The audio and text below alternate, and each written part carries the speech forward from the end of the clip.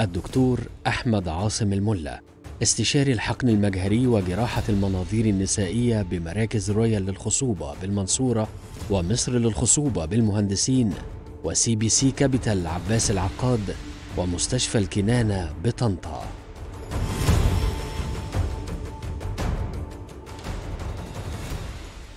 أهلا بكم. النهارده يوم مهم جدا في عالم النساء وعالم تأخر الإنجاب وكلمة مهمة اسمها تكيس المبايض في ثلاث نقط عايز أكلمكم النهارده فيهم عن تكيس المبايض قبل ما ندخل في معمعة الحوار. أول حاجة كتير من الناس فاكرين اللي عندهم تكيس مبايض مش هيخلفوا أو بيخلفوا بصعوبة.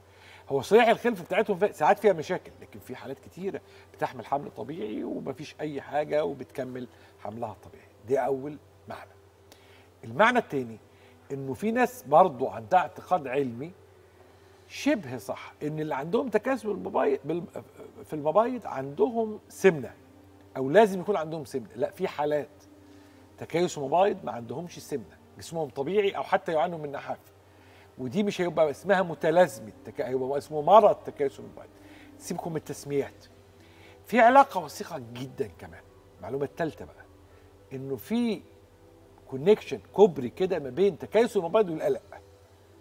القلق جزء من المتلازمة ده لقوا كمان إنه الستات اللي عندها تكيس مبايض لما بتخلف ولادهم بيطلعوا عندهم قلق انكزايتي فده علاقة وثيقة بقى بين الجنين اللي ست عندها تكيس وما بين حالته النفسية بعد كده. دي دراسة مهمة جدا.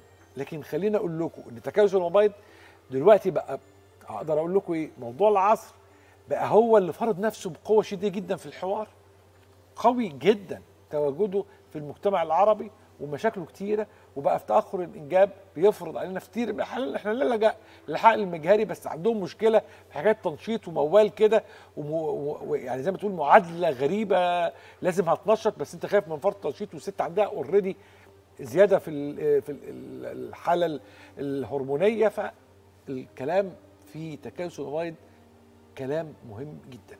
النهارده حوار مهم جدا مع ضيفي العزيز الذي يبدع جدا في حواره دائما في عالم تأخر الإنجاب. ضيفي العزيز الأستاذ الدكتور أحمد عاصم الملا استشاري الحقل المجاري وجراحات المناظير النسائية بمركز رويال. منورني وسعيد جدا بهذه الزيارة دكتور. أهلا وسهلا بحضرتك يا دكتور أيمن وأنا سعيد بالتواجد مع حضرتك ومع مشاهدينا دايما. وطبعا حضرتك اتكلمت فعلا على موضوع يمكن بنشوفه كتير خصوصا في مصر.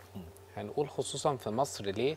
لأن إحنا في مصر تقريبا عندنا عادات غذائية غير صحية كتير وبالتالي في سيدات كتير عندنا من المصريات بيعانوا من السمنة.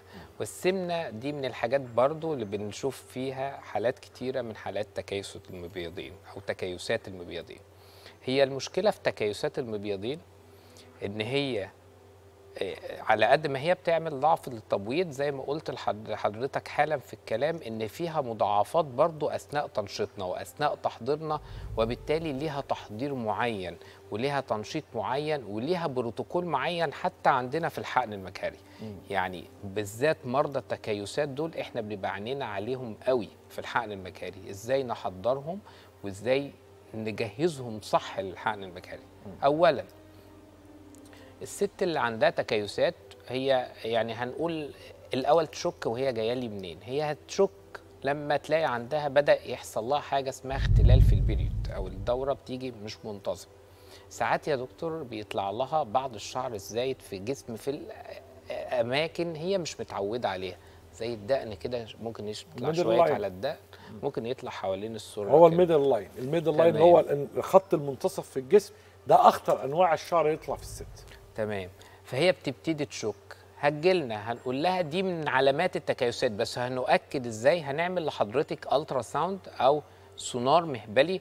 هنشوف فيها شكل التكيسات بالسونار المهبلي وشكلها من الحاجات الواضحة جدا ومعروفة زي ما حضرتك شايف دلوقتي معانا على الشاشة. هو ده شكل التكيسات. عارف حضرتك إحنا بنشبهها بشكل العقد كده اللي هو بيبقى له فصوص وبيبقى جواه بيبقى زي إيه مفرغ كده. انما له الفصوص اللي هي الدوائر السمراء دي اللي هي البويضات لو حضرتك بصيت هتلاقي عدد بويضات كتير. أكتر من الطبيعي اللي إحنا بنتكلم كنا بنقول خمسة ستة في كل مبيض. لا ده ممكن توصل 16 20 في كل مبيض. طب هي دي حاجة حلوة ولا وحشة؟ هي حاجة مش حلوة قوي. هو مش آه. آه باتر نكلس باترن ده اللي هو آه وغير كده إن دول مشكلتهم بيبقى عندهم ضعف بقى تبويض مش ضعف مخزون لا ده بالعكس دول بيبقوا مخزونهم زايد. يعني دي لما آجي أعمل لها تحليل كنت اتكلمت حضرتك عليه قبل كده اللي هو تحليل مخزون المبيض. ال AMH بيطلع أكتر من ثلاثة وفي ناس آه. يطلع أكتر من خمسة وستة وفي ناس أكتر من عشرة وناس والله شفناها أكتر من عشرين.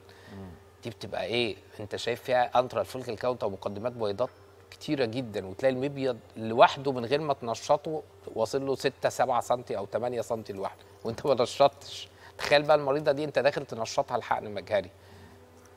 لو أنت مش شاطر وعارف إزاي هتنشط مريضتك دي صح المريضة دي ممكن تخش منك في مضاعفات. تيجي أنت عندنا مش تيجي آه. تيجي بقى عندنا في الحالات الحرجة تيجي آه. الط- فأول حاجة بقول للمرضى دول إيه؟ لو حضرتك زايدة وزن زي ما حضرتك قلت انزلي وزن. هتمشي على دواء اسمه الجلوكوفاج أو السيدوفاج اللي هي مادة الميتفورمين. بعض الناس تقول لك ده ده سكر. الكلام ده للسكر وبتاع. لا آه ما بتوع السكر بياخدوه. انت بتاخديه عشان عندك حاجة فيها في جسمك اسمها ال insulin resistance. فحضرتك. بتاخدي الميتفورمين ده هيحسن لك البويضات اللي هتطلع عند حضرتك. هو مش هيضيع التكيسات مفيش حاجة في الدنيا بتضيع التكيسات. بعض المرضى تيجي تقول يا دكتور اعمل لي منظار وضيع لي التكيسات دي. هقول لها لا ما هو المنظار التثقيبي حتى اللي بنعمله وما عادش مفضل في العلم الحديث إن إحنا نقعد نعمل المنظار التثقيبي. زمان كانوا بيمسكوا المبيض ده اللي مليان بويضات ده وفيه بقى تكيسات كتير يقعد تيك تيك تيك تيك تيك يقعد يكوي التكيسات دي بالتثقيب. وبالتالي كان بيأثر. بالسلب على المريضة دي بدل مخزونها ما كان زايد ده ضيع لها المخزون خالص ده كان جريمة. فالكلام ده حديثا ما عادش مقبول في العلم. حتى لو مبيض يعني في عدد بويضات كتير جدا هو غير مسموح بأكتر من ثلاث لأربع تثقيبات في كل مبيض لو أنت أصلا نويت تخش بمنظار. طيب المريضة دي لو هنشطها هنشطها زي المريضة العادية اللي بنشطها للحقن المجهري لا. ده أنا أقول لها أنت هتمشي على بروتوكول اسمه البروتوكول المعاكس أو المضاد مش البروتوكول المعتاد للمرضى التانيين. ليه؟ بنشطك بجرعات بسيطة وكل شوية بعمل لك تحليل اسمه ال E2 اللي هو الاسترادايول أعرف نشاط البويضات ده وصل لفين عشان أبقى مأمن نفسي. أنت داخلة في استجابة زايدة ولا لأ؟ طيب عرفت ومشيتك بجرعاتك. لما أجي أديكي حقن التفجير اللي هي عشان اكتمال نضج البويضات واسحب البويضات هديكي الحقن المتعارف عليها اللي هي زي ال HCG وال Choriomon والكلام ده؟ لأ. أنا لو عملت معاكي كده هتخشي العناية المركزة. لا ده أنا بديكي البروتوكول المضاد ده عشان أعرف أديكي الحقن اللي هي ال agonist زي ال Decapeptyl أو التريبتوفان اللي هي الحقن اللي ما تخلينيش أخش في الاستجابة الزايدة دي. وأقول لحضرتك من وأنا بنشطك إن احتمال كبير أنا هنشط حضرتك هسحب لك البويضات هعمل لك أجنة بس مش هزرع لك في نفس الدورة. أنا هجمد الأجنة دي عندي في الحضانات وهستنى حضرتك ترتاحي خالص وبعد كده ازرع لك بعد شهر اتنين تلاتة تكوني ارتحتي خالص وضمنت إن معايا أجنة حلوة ليكي وانت ما دخلتيش في مشاكل. ما هو مش م- مش ال- الحاجة الحلوة إن المريضة تحمل وبس تحمل حمل آمن. مش تحمل وتخش العناية المركزة. هي لو حملت في الوضع ده وكان عندها استجابة زايدة ده بالعكس ده ممكن تزيد أكتر في الحمل نتيجة إن الهرمون بقى بتاع الحقنة التفجيرية ده هو بيتفرز في الحمل لوحده. طب أنا قادر أوقفه من بره طب من جوه هوقفه إزاي لما يحصل حمل؟ لازم أنهي الحمل ده. تخيل إن الحل في بعض الحالات دي الحرجة إن إحنا ننهي الحمل اللي إحنا قعدنا نستناه عمر. طب من الأول بقى الوقاية خير من العلاج. يبقى أنا أجهز المريضه دي كويس أتابعها كويس مش هجيبها بعد أسبوع ولا بعد 10 أيام زي المرضى التانيين لا ده أنا كل يومين حضرتك هتكوني عندي في المركز. بتعملي تحليل اسمه ال E2 وبشوفك في ال ultrasound ولو لقيت عندك مقدمات استجابة زايدة أنا معرفك إنك هتسحبي وتجمدي وتزرعي في دورة تانية. وببتدي أدي لحضرتك بعض الأدوية اللي تهبط النشاط بتاع المبيض ده لو أنا خدت القرار ده خلاص بحيث إن ما تخشيش في الاستجابة الزايدة. دي قصة مهمة جدا. أنا خايف من كلمة استجابه زايدة. إيه ده هي قصة مهمة ودي كانت ال nightmares بتاعنا. يعني آه، بتوع دكاترة ك- الحقن. المجهري تسألهم ال nightmares بتاعكم إيه؟ هيقول لك ال ovarian hyperstimulation syndrome أو الاستجابة الزايدة أو حاجة بالمعنى المتعارف عند المرضى فرط التنشيط. لأنه ح- حالة الحقن المجهري المفروض دي situation آمن. يعني ما فيهوش أي emergency ما فيهوش أي طوارئ. فلما يحصل حاجة تدخل الست وحدة العناية المركزة ده هو ال nightmare الحقيقي ده كابوس. طبعا. آه. وبنبتدي نقول طب هنفترض بقى خلاص الأمور فلتت منك والمريضة استجابت استجابة زايدة. هل هتقف عاجز مش هتعمل حاجة؟ لا. هنبتدي نتعامل معاها تعامل الأول هنقول لها هتعمل لنا الأول حاجة اسمها صورة دم كاملة هتطمن على حاجة فيها مهمة عندي اسمها ال hematocrit. إن ما يحصلش حاجة اسمها hemoconcentration له نسب معينة يفضل ما يبقاش أعلى من 40% 40 و45 يبقى المريضة دي داخلة في critical وأبقى عارف إن المريضة دي احتمال تخش عنايه أشوف نسبة الألبومين في الجسم لأن المشكلة في المرضى دول بيحصل حاجة اسمها hyperpermeability المبيض ده بيقعد يرشح مية في البطن والمية دي بتخلي البطن بتاعت الست تنتفخ. وتبقى حاسة بآلام شديدة آه. لدرجة ممكن تبقى عايقة التنفس بتاعها. ascites آه المشكلة بقى دي بقى كانت الخناقة زمان بيننا وبين دكاترة البطنة يا دكتور ايمن آه. زمان دكاترة البطنة ما كانش عندهم علم قوي بقصة ال hyperstimulation فكانوا بيتعاملوا مع عيانة ال hyperstimulation دي على إنها ال ascites بتاعه ال liver زي تعامل ال ascites ال liver. حضراتكم بتبقوا تدوا Lasix أو الكلام ده. لا. فكال ال... في بعض المرضى بعض الدكاترة كانوا بيعملوا كده طبعا ده يعني آه، بيموت المريض آه. لأن هو بيسحب آه، مش بس سوائل انت الصوديوم والبوتاسيوم اللي بيبقى مع السوائل دي بيبتدي يحصل له تأثر شديد في المريضة فال electrolytes بتاعتها بت... بيحصل حاجة اسمها. imbalance آه. آه. طبعا حتى في الدكاترة دلوقتي آه الدكاترة دلوقتي بقى wet آه. and wise حتى في الكبد صح. خلي بالك ده من ده أنا قايلها من 20 سنة keep the patient wet and wise better than dry and dead ده في الكبد فإحنا ما بنسحبش بسرعة برضه في مريض الكبد. عشان ما يحصلوش مرة واحدة hypokalemia ويدخل في hepatic encephalopathy يعني هو ده التفكير الصح يعني إن إحنا نبقى إيه فاهمين إزاي نتعامل مع الحالات دي عشان كده الحالات دي لو حصل لها مشاكل إحنا بنقول لها اوعي تروحي مستشفى كده عام أو مستشفى آه، ما تعرفش إزاي تتعامل معاكي لأنه ممكن يضروك انت عارف ممكن بعض ال- المستشفيات شفنا مثلا مرضى زي دول دخلوا مستشفيات قبل كده قالوا لها ده انت عندك نزيف داخلي ولازم تخشي تفتحي بطنك حالا وهي طبعا لا عندها نزيف ولا حاجة هو ارتشاح من المبيض وهو لو فتح حالا ولمس المبيض ال- المنتفخ ده هيطلعه في إيده. بيبقى friable جدا وهيطلعه في إيده. يعني بدل ما يعالج المريضه هيدخلها في disaster آه. لأنه مش فاهم ماهية الحاجة اللي هو بيتحك أو بيشتغل عليها. دلوقتي بدأ نطلع كان إن إحنا حتى نقلل لو المريضة وصلت للتنفس بتاعها كان مش قادرة تاخده قوي بدأ في بعض الأجهزة اللي بتتحط زي ال pigtail. ده زي drain كده بيحافظ إن يطلع المية دي شوية ونعوض بس ما نطلعهاش زي ما حضرتك قلت بنطلعها تدريجيا ونعوض بالسوائل ونعوض بألبومين. الألبومين ونعوض بحاجات تعوض المريضة دي عن ال electrolytes اللي طلعت. ال electrolytes اللي هي البوتاسيوم مهم جدا. آه طبعا لأن. الحاجات دي لو نقصت عند المريضة هتعمل لها مشاكل كبيرة جدا. فبقى خلاص في وعي دلوقتي إزاي أقي المريضة بتاعتي دي من ال hyperstimulation إزاي أحضرها؟ إزاي أجهزها كويس للحقن المجهري؟ 90% من الحالات دي بنجمد لهم نزرع لهم في دورات تانية.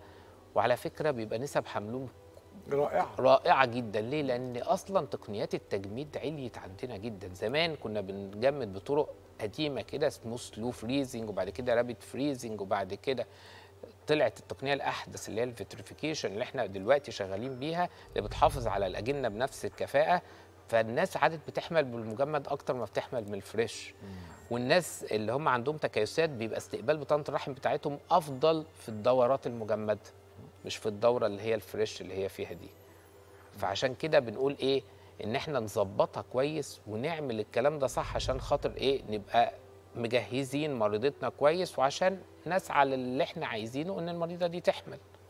والحمل بتاعهم بيكون على. فكرة كويس آه. والمرضى دول بنقول لهم ده أنتوا نسبكم في الحمل كويسة لأن أنتوا أصلا بتطلعوا بيضات كتير بس أنا عاوزها بيضات جيدة وهديكوا مخزون ليكوا العمر آه. انت بتطلعي مثلا العادية بتطلع 10 12 بيضة انت هتطلعي 20 30 هجيب لك أجنة وهجمدها لك واحتفظ بيها عمرك ما هتتنشطي تاني كل ما أفكر أزرع لحضرتك هزرع وهحضر بطانه رحم والتجميد وازرع بس. قيمته في تكيس المواد قيمة كبيرة جدا لأنه بيقيها من النايت مير اللي إحنا اتكلمنا آه اللي. إحنا اتكلمنا فيه وكتير من المرضى ربنا كرمهم وزرعنا لهم وحملوا بالاثنين والثلاثه وربنا كمل لهم الحمل وربنا أراد لهم إن الحمل ده يكمل ويكمل على الخير يعني كتير من مرضى تكيسات المبيضين اللي عملنا لهم زراعه لأن دول في الغالب بيبقى عندهم استقبال بطانه رحم في الدورات المجمدة حلو. فساعات ازرع جنينين يلزقوا ساعات ازرع ثلاث أجنة الاقي الثلاث أجنة لزقوا.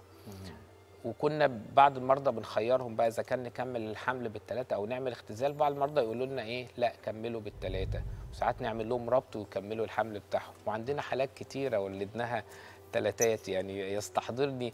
كان شكل اطفال حلو قوي عجبني. كان كنا إحنا مريضه اتأخرت حمل 11 سنة كاملة وعملت أكتر محاولة للحقن وكانت دخلت عناية مركزة في بعضهم إن هم برضو ما كانتش متحضرة جيدا. آه، ربنا أراد وإن إحنا عملنا لها الحقن المجهري وبفضل الله تعالى ولدناها في ثلاث أطفال. يمكن دي صورة للأطفال اللي إحنا آه، يعني كان آه، المريضة دي تقريبا لسه مولدينها قريب. ربنا رزقها بولدين وبنوتة جميلة. آه، يعني بقول للمرضى دول آه بعد سنين الانتظار ده لازم حضرتك تكوني إيه عارفة إزاي تتحضري جيدا لموضوع زي موضوع الحقن المجهري. عارفة إزاي تمشي خطواتك جيدا. لازم الدكتور اللي بيتابع معاكي يبقى فاهم إزاي بيحضر حضرتك. وشوف ده ده منظر الثلاث أطفال اهم بعد ما طلعوا الحمد لله تعالى يعني الحمد لله المريضة قدرنا نوصلها للشهر بتاعها يا دوبك هي وصلت أول التاسع وربنا أراد إيه ولدت إيه الأطفال الجمال دول. نورتني وشرفتني طبعا دكتور أحمد عاصم الملا استشاري الحقن المجاري وجراحات المناظير النسائية بمراكز رويال. كالعادة بتبدع في الناس الحلوة. يعني أنا اللي اتشرفت بتواجد مع حضرتك ويا رب يكون المرضى والناس المشاهدين بتوعنا اللي بيشوفونا حالا يكونوا استفادوا من الحلقة دي وعرفوا إزاي إيه خطوات التحضير الجيد لحالات التكيسات دي وازاي ان هم يبقوا إيه يقوا نفسهم من يخشوا الأعراض الخطيرة اللي إحنا كنا بنتكلم عليها دلوقتي. يبقى التكيس المبيض واحد من المواضيع شديد الأهمية على المستوى العلمي شديد الانتشار على المستوى البشري وشديد التقدم على مستوى التقنيات والإبداعات وخصوصا عندما تحتاج المرأة إلى التدخل بالحقل المجهري تقف التكنولوجيا وقفة نقدر نقول عليها جيدة للغاية عشان تساعد هؤلاء الذين يعانون وربما في لحظة تشتد معاناتهم لدرجة إن هم ممكن جدا في طريق حلمهم للحصول على طفل ممكن جدا الست تدخل عناية مركزة. خليكم دايما مع الناس الحلوة. مشكلة البنكرياس أعراضه بنسميها دايما فيج يعني ملهاش عرض محدد. أبرام البنكرياس. البنكرياس عموما ما حدش يعرف عنه حاجة. تشخيصه إن إحنا نقول ينفع له عملية فعلا. اتطورت جدا جدا. مش هيدي أعراض غير لما يوصل لحجم كبير قوي وبالتالي في الغالب بيتشخص متأخر قوي. عشان استأصل المنطقة صعبة شوية والعملية تبان إنها تخوف شوية. لكن نسبة نجاحها دلوقتي تتعدى ال 95%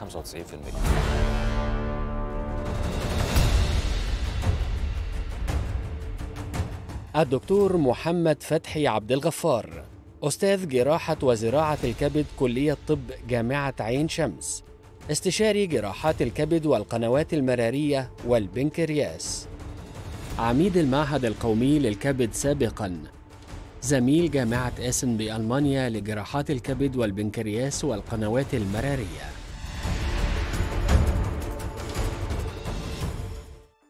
أهلا بكم واحدة من أرقى وأفضل وأقوى حلقاتنا على الإطلاق النهارده.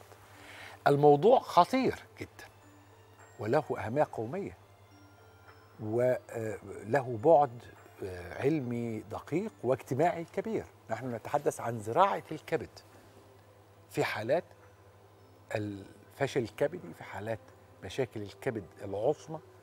العنوان هو زراعة الكبد من المتبرع. الفكرة إيه؟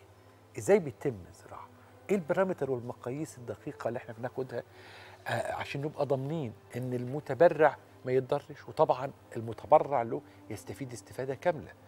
أسئلة كتيرة جدا النهارده تطرح نفسها. زي ما قلت لكم في واحدة من أدق وأهم وأكبر المواضيع اللي تهم كل بيت في مصر. النهارده لقاء واحد من اللقاءات اللي بنفخر بيها في الناس الحلوة بنبقى سعداء سعادة غامرة لأنه لقاء مع واحد من الأسماء ال- المصرية اللي بنسعد بيها وبنفتخر بيها على المستوى المصري والإقليمي والعالمي. الاسم الكبير وطبعا صاحب الكاريزما والعلم الوفير وصاحب القدرة العلمية الفذة. الاسم الكبير طبعا ضيف العزيز أستاذنا الأستاذ الدكتور محمد فتحي عبد الغفار أستاذ جراحات وزراعة الكبد الاستاذ بكلية الطب جامعة عين شمس زميل جامعة أيسن بالمانيا لجراحات الكبد والقنوات المرارية والبنكرياس وعميد معهد الكبد السابق ضيف العزيز القيمه العلمية الكبيرة أشيك. بصوا بأمانة. رغم يعني ما بنعرفش يعني بص ما بعرفش أباريك ويعني أسابقك في الشيك. بجد. الله يخليك. آه، آه، ما شاء الله أشك يعني ضيف اللي عندك. أو عشان من واحد من أشك الناس عشان الزملاء ما يزعلوش. أبدأ السؤال الكلاسيكي فكرة زراعة الكبد. من المتبرع الحي. وخلينا نقف عند الكلمة دي. آه، آه، آه، متبرع حي. هي فكرتها زي ما إحنا عندنا كليتين كأن عندي كبدين. الكبدين دول لازقين في بعض. العملية إن أنا هفصلهم عن بعض. هيبقى عندي كبد يمين وكبد شمال. الجزء الثاني في الفكرة إن كل جزء من اللي هنفصلهم دول الجسم عنده قدرة تجديد نفسه تاني. يعني النص اللي أنا خدته للمريض هيرجع يكبر في خلال شهر لشهرين من يوم العملية يبقى حد حجمه قد حجم الكبد العادي. والمتبرع نفس القصة هيبتدي برضه يكبر في خلال شهر لشهرين من يوم العملية يبقى حجمه قد حجم الكبد العادي. دي الميزة واللي يمكن أكتر من زراعة الكلى. يعني الكلى عندنا كليتين لما نتبرع بكلى إحنا فقدنا كلية خلاص. الكبد لا القصة مش كده. أنا اتبرعت بنص الكبد فعلا بس النص ده رجع يجدد نفسه تاني. آه هيبقى فص واحد لكن الفص حجما ووظيفيا قد حجم الكبد العادي. فهي دي الفكرة بتاعت الزراعة من المتبرع حي. ال- ال- ال- ال- لازم يكون متبرع حي. في مصر هنا طبعا آه، ما عندناش غير متبرع حي. آه، في العالم كله الأساس هو من الميت وهي دي الأفضل والأسهل والأحسن. لكن للأسف إحنا لسه ما خدناش الخطوة دي ودي أعتقد خطوة إحنا محتاجينها بشدة جدا يعني. إيه الأسس اللي إحنا بن- بن- بنبني عليها فكرة الاختيار أول قاعدة إن المتبرع ده مش مريض ده شخص سليم وبالتالي ما عنديش أي مجال إن أعرضه لأي خطورة. نتمنى إن الخطورة تبقى صفر في المية بس للأسف في الطب ما فيش صفر في المية. فعشان كده بنعمله كل حاجة ممكن أي حد يتخيلها عشان نضمن إن المتبرع ده مفيش خطورة عليه من العملية نفسها ودي نمرة واحد. تاني حاجة إن الكبد اللي هيديه هو فعلا مناسب لهذا المريض بالذات وينفع لهذا المريض بالذات. يعني ممكن تلاقي المتبرع ده ما ينفعش للمريض ده لكن ينفع لمريض آخر على حسب وزن الكبد على حسب تشريحات في الكبد وحاجات زي كده. فهو الكبد لازم يتفصل للمريض دوت. لكن أنا بختار نمرة واحد عندي مش المريض نمرة واحد عندي المتبرع لأن ده شخص سليم. إحنا للأسف في زراعة الكبد بنكسر أول قاعدة خدناها في الطب زمان خالص أول كلمة كان في الكتب يقول لك إيه؟ first do no harm أول حاجة ما تأذيش حد. بس هو التبرع غصب عني أنا عرضت مريض لعملية هو ما عندوش مرض أصلا. فكأني أنا عملت له مشكلة من غير مشكلة. عشان كده بنتمنى إن المشكلة دي تبقى صفر مفيش. عشان أوصل للصفر ده أنا مش هوصل للصفر أكيد. إحنا لما نتكلم شوية هنعرف إنها مثلا نسبة المشاكل الكبيرة اللي تؤدي للوفاه نص في المية. بس عشان أوصل ل 99 ونص ديت لازم ما يبقاش في غلطة. في مجموعة حاجات هنعملها قبل العملية جوه العملية بعد العملية عشان أقدر من الحكاية ديت أوصل للرقم العالمي اللي هو مخاطر نص في المية. السؤال اللي بيفرض نفسه بقى بس أنا عايز أنبه بس عشان اللغة العربية عند الأسر في مصر مش ب... مش ب... بعافية بعافية اللغة العربية. فيسبوك بي... بيوريني مهازل المتبرع اللي هو هيدي. اللي هيدي. المتبرع له اللي هياخد فالمتبرع اللي خلينا مريض ومتبرع عشان تبقى أسهل. آه المريض اللي هو المريض اللي هو عنده مشاكل في الكلى المتبرع اللي هو هيديله يعني. بالظبط. آه إزاي نحضره؟ بنبتدي الأول بالصفات العامة ليه قبل العملية. الصفات العامة دي أنا عايز سن والسن بتاعنا من أول سن 21 ل 45 ممكن نزرع لغاية 50 ولكن كل ما السن بيزيد كل ما مخاطر تزيد.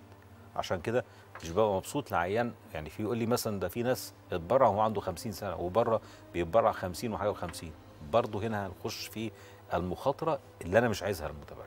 فعشان نبقى في الأمان خلينا في ال 45 من أول 21 ده اللي ال- كل الناس الأولاد القانون بيسمح من أول سن 18 دي أول صفة اللي هو السن بتاعنا. تاني حاجة تبقى فصيلة الدم. نفس الفصيلة أو أو سلبي أو إيجابي مش مهم. ما يكونش عمل عمليات كبيرة في بطنه قبل كده ما يكونش عنده ضغط ما يكونش عنده سكر. وزنه متناسق مع طوله يعني مش تخين. لو وزنه زاد شو- شوية لازم يعمل رجيم قبل العملية. لازم يخش بوزن مثالي اللي هي بنسميها بي ام اي تبقى مش أكتر من 28 دي الصفات العامة للمتبرع لو تحققت الصفات العامة نبتدي بقى نمشيه في تحضير عبارة عن شوية مراحل. نبتدي مرحلة أولى تحاليل مرحلة تانية اشعاعات مرحلة ثالثه فحوصات. آخر مرحلة تبقى عينه من الكبد عشان نطمن إن الكبد ده سليم 100% مفيش خطورة على المتبرع ولا خطورة على المريض كمان. نقرب من اليوم المنشود بقى. آه. إزاي التقنية بقى؟ يعني أفكار التقنية نفسها بتتم آه، طبعا ال- المهم قوي في القصة إن إحنا التقييم بتاع المتبرع نفسه زي ما قلنا ينفع للمريض ده بالذات ولا ما ينفعلوش. اللي بيتحكم فيها كذا حاجة. نمرة واحد وزن الكبد. لأن أنا بعمل اشعاعات أعرف إن أنا هديله الفص اليمين. الفص اليمين ده لازم يمثل 1% من وزن المريض. فمثلا لو الفص اليمين طالع 800 جرام يبقى أنا بتكلم عيان يبقى وزنه 80 كيلو. لكن لو العيان ده وزنه 120 كيلو مش هينفع 800 جرام. الحاجات التشريحية إن القنوات المراريه بتاعته أنا عندي قناة يمين وقناة شمال. القناه اليمين ديت تتقسم لاثنين هل هي مقسومة اثنين ولا هي واحدة ولا هي ساعات تبقى ثلاثة كل ده برضو لازم أبص على العيان نفسه حالة المريض نفسها. في بعض الأحيان يبقى المريض الحالة العامة بتاعته وحشة جدا. آه، تليف شديد عنده غيبوبة عنده يعني مشاكل جامدة في الكبد. ده يحتاج كبد وزنه كبير أقرب من 1% في عيان تاني أنا زرعت له عشان بقره وهو مثلا بال عندنا حاجة اسمها Child مثلا لو Child A اللي هو تليف خفيف شوية ممكن أديله 8 من 10 مش لازم أوصل لواحد.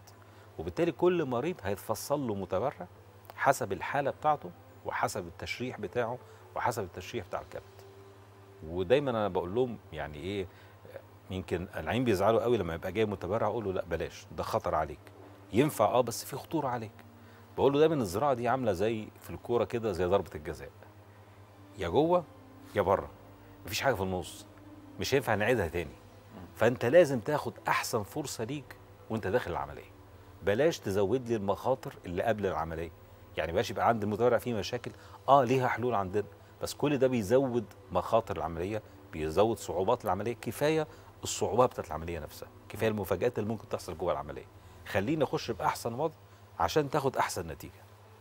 خلينا نخش في أحسن وضع عشان تاخد أحسن نتيجة عشان دي الفرصة الوحيدة. بالظبط آه. إن جوه العملية طلع مش نافع هعمل إيه؟ مفيش خلاص أنا يعني إحنا بنصل لمرحلة اللا رجعه طبعا ساعات بنوقف الزراعة في مراحل معينة لكن في مراحل تانية ما بعرفش أقف. يعني مثلا على سبيل المثال وزن الكبد. أنا وزن الكبد الأشعة قالت لي إن هو 1000 جرام. جوه العملية لقيته شكله 600 700 طب أنا شلت الكبد خلاص وهناك المريض شلت الكبد. وزنته طلع ان فعلا صغير. هعمل إيه؟ ما عنديش حل خلاص. لازم أحط له الكبد وهو صغير.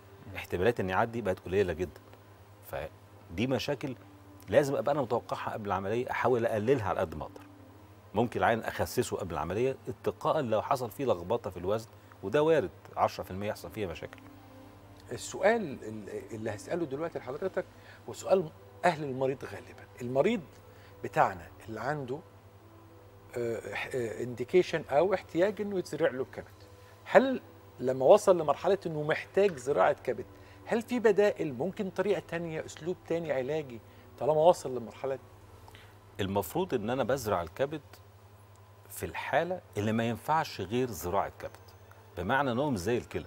يعني الكلى ممكن المريض الفشل الكلوي يغسل سنة اتنين تلاتة أربعة مش مهم. لكن ما عنديش في الزراعة في الكبد زراعة وقائية.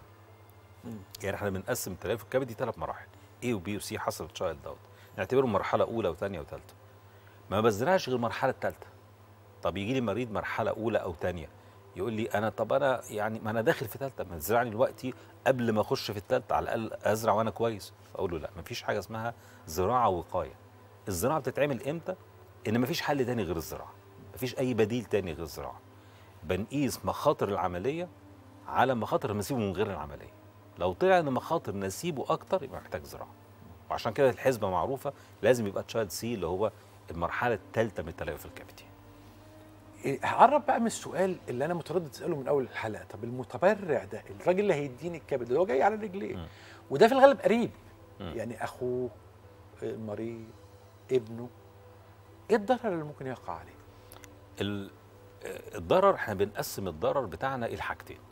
في مشاكل كبرى اللي هي قد تؤدي للوفاه يعني ممكن المتبرع يموت آه ممكن. نسبتها دي قد إيه؟ نص في المية. وده نص في المية الحقيقة ده رقم حقيقي. يعني ده رقم من الأرقام العالمية ودي الأرقام اللي عندنا في مصر. آه نص في المية نفسنا يبقى صفر. لا بس هو موجود. بس ده معناه إن 99 ونص ما بيحصلش. لكن في نص في المية قد تحدث. وتحدث نتيجة حاجات بعضها ملوش علاقة بالعملية. يعني واحد يجي له جلطة في الرئة دي دي واردة انها تحصل لأي شخص عمل عملية كبيرة. عشان كده عدلنا في البروتوكولات بتاعتنا إن قبل الزراعة لازم يعمل كل عوامل التجلط اللي نعرفها ولو في عامل من التجلط عنده عالي ممكن يترفض الزراعة أو التبرع فيه لأن ده مخ عنده آه، يعني عامل خطورة قد تؤدي إلى جلطات تؤدي إلى جلطة في الرئة. فدي المشاكل الكبيرة اللي تؤدي إلى في مشاكل أقل زي ممكن يحصل نزيف بعد العملية وده يقف لوحده أو إحنا نخش نوقفه تصرف السائل المراري يروح لوحده أو الأشعة يشفطها يعني مشاكل ليها حلول عندنا. دي نسبتها من 5 ل 10% يعني من 90 ل 95% ما بتحصلش. لو ما حصلش حاجة من الحاجتين دول المشاكل الكبيرة ولا الصغيرة على المدى الطويل ما فيش تأثير سلبي للتبرع. إحنا عندنا متبرعين من سنة 2000 يعني 2001 يعني داخلين على 20 سنة دلوقتي. الحمد لله ما عندهمش مشكلة. أمان المتبرع واضح إن هو حاجة آه، يعني تشغل جزء كبير طبعا. من هذا القسم قسم الزراعة. في تعديلات اتعملت جديده تعديلات زي ما قلت لحضرتك في حاجات كتيرة من المشاكل اللي إحنا شفناها. مم. يعني مثلا ما كناش بنعمل كل عوامل التجلط قبل كده لكن في مريض جات له جلطه بعد الزراعة ولقينا عنده فعلا عامل من عوامل التجلط عنده عالي فبقت بروتوكول لينا لازم كل العيانين يتعمل لهم عن تجلط. مثلا نسبة الدهون اللي في الكبد في بعض الناس بره في معظمهم ما بياخدوش عينة من الكبد بيعتمد على منظر الكبد في الأشعة والتحاليل لا إحنا لازم ناخد عينة من الكبد ولازم نسبة الدهون ما تعديش 15% لو أكتر من 15% يترفض فابتدينا نعمل حاجات كلها ممكن تقلل البول أو يعني تقلل مصدر المرضى أو تمنع مرضى إن يتبرعوا بس ده حفاظا على حياة المتبرع وح- وحفاظا على المنظومة كلها. لأن لو حصل لا قدر الله مشكلة المتبرع لا دي كارثة. في مراكز بره قفلت بسبب متبرع حصل له مشكلة. فعشان كده إحنا بنبقى حريصين قوي في قصة الأمر. جوه العملية نفسها في التكنيكس اب- ابتدينا نهتم قوي بخطوات يعني مثلا قص القناة المرارية عند المتبرع. قص القناة المرارية دي خطوة بتاخد دقيقة انت بتقصها كده بس انت عندك القناة اليمين دي بتقسم لاثنين الفرق ان قصه في لو قصيت هنا هتجيب اتنين لو قصيت هنا هتجيب واحدة. الفرق بين الاتنين دول ملي يعني أو 2 ملي. طب الفرق بينهم بالنسبة للمريض إيه؟ لا دي ممكن تكلفه حياته أو ممكن تكلفه إنه يفضل طول عمره عنده مشاكل في القناه المراريه وكل شوية يعمل منظار ودعامه لأن لو جبت اتنين نسبة الضيق فيهم أعلى من جبت واحدة. الفرق بين الاتنين زي بقول لحضرتك 2 3 مللي. عشان كده دلوقتي أنا بنحط مثلا كليب وأصور أقول له إحنا ممكن نعيد الصورة دي 10 مرات لغاية ما أتأكد إن أنا هقص في الحتة المظبوطة. لما أضيع ربع ساعة نص ساعة زيادة في الخطوة ديت أنا بوفر للعيان ده مشاكل كتيرة قوي ممكن تحصل بعد كده. هو ده السؤال الجاي. المضاعفات. المضاعفات تنقسم على المتبرع وعلى المريض نفسه. مضاعفات المتبرع اللي إحنا قلنا هي المشاكل الكبرى التي قد تؤدي الوفاة ودي بعضها غصب عننا. زي ما أقول لحضرتك مثلا واحد جاله آه، جلطة في رجله وعملت على الرئة. آه بيبقى العين بياخد دواء سيولة أو العين بيتحرك ومع ذلك وارد إنها تحصل. نسبتها قليلة زي ما قلنا بنتكلم في نص في المية. آه، مشاكل الأقل زي نزيف تسرب السائل المراري ارتشاح غشاء بلوري كلها مشاكل يعني مؤقتة في الغالب بتنتهي بخروجه من المستشفى وليها حلول الحمد لله عندنا. النقطة بقى التانية إن المتبرع ده هو اللي بيدي المريض وبالتالي كل حاجة في المتبرع فيها مشكلة هتنعكس على المريض. يعني أنا لو جبت كبد وزنه قليل أنا عرضت لمريض لمخاطر. ليها techniques معينة عشان نحاول نظبط الأمور دي لكن برضو كده زودنا المشاكل اللي هي ممكن تحصل لوحدها. آه، قنوات المرارية دي القناة المرارية عند المتبرع معتمدة على إيه؟ على قصة القناة المرارية في المتبرع نفسه. آه، الدم اللي خارج من الكبد هو بيخرج من وريد معين اللي هو ال right. لكن ساعات بيبقى فيه حاجات زيادة جاية مباشرة على جزء الكبد اللي متساب في المتبرع. الأوردة الزيادة دي لا دلوقتي بقى نحب إن إحنا نوصلها. ساعات مثلا نختلف طب هو ده كبير نوصله ولا صغير؟ أنا أقول له لا وصله. يعني اعمل الزيادة طلع ملوش لازمة مش هخسر حاجة. لكن لو طلع كان ليه لازمة وده أثر على الدم اللي خارج من الكبد هيعمل لي مشكلة بعد كده. فابتدينا إن إحنا ناخد خطوات يمكن ما كناش بنعملها زمان خطوات زيادة بس عشان نحاول نتجنب المشاكل اللي ممكن تحصل للمريض نفسه. نسبة نجاح زراعة الكبد وبرضه عايزين. نفهم الناس حاجة أنا عارفها بس لازم الناس تفهمها. موقعنا إيه من العالم؟ أنا عارف إن إحنا في مركز متقدم جدا في زراعة الكبد. نسبة نجاح العملية عندنا في مصر هي فعلا حوالي 85% تصل إلى 90% ودي نسبة قريبة من الأرقام العالمية. آه، تختلف النسبة طبعا على المريض. النسبة دي إمتى؟ لو المريض ده ما عندوش مشكلة غير الكبد. يعني هو تليف كبد فشل كبدي بس. لكن نفترض إن عنده جلطة في الوريد البابي. هنا هنبتدي النسبة تختلف على حسب درجة الجلطة. الجلطة أربع درجات. أول درجتين ممكن ما تختلفش. الدرجة الثالثة هتقل قوي الدرجة الرابعة هتقل أكتر كتير. آه، دي النسب ال- العالمية ودي الحقيقة اللي موجودة في مصر. موقع مصر بالنسبة للعالم في الزراعة لا في الزراعة من المتبرع حي إحنا بقينا عاليين جدا جدا. آه، أوروبا كلها عمرهم ما بيزرعوا الأرقام بتاعتنا ديت. أمريكا كلها عمرهم ما بيزرعوا الأرقام بتاعتنا. إحنا أعلى منهم فعلا في المتبرع الحي. كعدد أرقام وكتكنيك وكاصبح معكوس كخبرة وحاجات زي كده. يمكن المنافس الوحيد لينا آه، كوريا واليابان لأن آه. هم برضو ما عندهمش قوي من ميت. آه. فهم الوحيدين اللي شغالين برضو على متبرع حي بارقام برضو فعلا محترمة جدا أرقام كبيرة. لكن لو قارنا نفسنا بأوروبا وأمريكا لا إحنا متفوقين عليهم في متبرع حي ب- بكتير بمراحل. آه يعني طبعا. والخبرات هنا أعلى العدد الحالات كمان أكبر بالظبط. المعوقات اللي حضرتك شايف إنها لازم تزال الصعوبات في هذه المنطقة المهمة.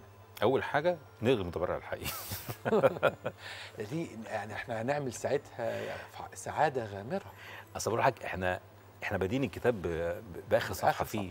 يعني هو الطبيعي إنك تشتغل جراحات كبد ثم زراعة كم من ميت ثم تشتغل متبرع حي. دي أصعب حاجة وأخطر آه، حاجة. إحنا وبعدين حتى بره اللي بيشتغلوا متبرع حي هو عنده backup عنده مصدر للميت. بمعنى أنت عملت متبرع حي والشريان باظ وما عرفش تصلحه والكبد باظ بعد العملية بيومين ثلاثة هتعمل إيه؟ هنجيب كبد تاني. منين؟ ما أنت هتجيب بقى متبرع. تحضره في يومين. لا ما هو من كبد جاهز. التاني بقى بالظبط. التاني آه. كان بيحطه على waiting list ده نمرة واحد خلاص آه، طوارئ يجي له كبد من حد ميت. آه. فهيحل المشكلة. إحنا هنا عنده بنك كبد بالظبط. بالبلدي. آه أنت هنا أنت بتلعب بخطورة. حصلت معانا وحصلت إن قدرنا نحضر متبرع في خلال ثلاث أيام ولحقنا فعلا العيان بس دي مش مش سهلة إيه يعني اللي ساعدنا فيها إن أهل المريض نفسهم قدروا يوفروا لنا متبرع وإحنا جرينا مع المتبرع بحيث نحضره. متبرع تاني. متبرع تاني وزرعنا له تاني والحمد لله العيان بقى كويس. بس مش كل مش أي وقت هتلاقي أصلا متبرع تاني ينفع. آه. فنمرة واحد إحنا مش عايزين أصلا نفسنا فعلا في ال- الميت دوت.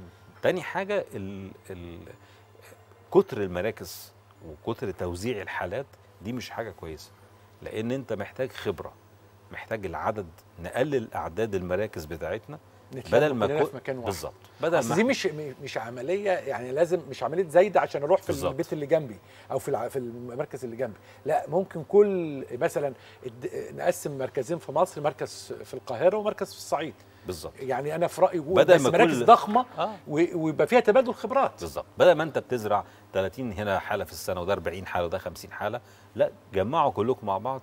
والزراعة اللي هنا 500 حالة في السنة. آه. ساعتها هيبقى في فعلا نمو للخبرة وساعتها هيبقى النتائج أكيد هتبقى أحسن. وهيبقى في كمان توفير اقتصادي طبعا. لأن أنا هوفر آه، في بدل ما ابني كل هنا آه، لا أنا هيبقى ده قبلة الموضوع واعمل مساحة أرض أبني في حتة جديدة وليكن في أكتوبر وليكن في الطريق في في, تجمع. في التجمع عشان يبقى قريب منك. كل واحد بيدور على بيته. في سفنكس عشان يبقى ممكن واحد في. التجمع وواحد في أكتوبر. آه لا ده كده.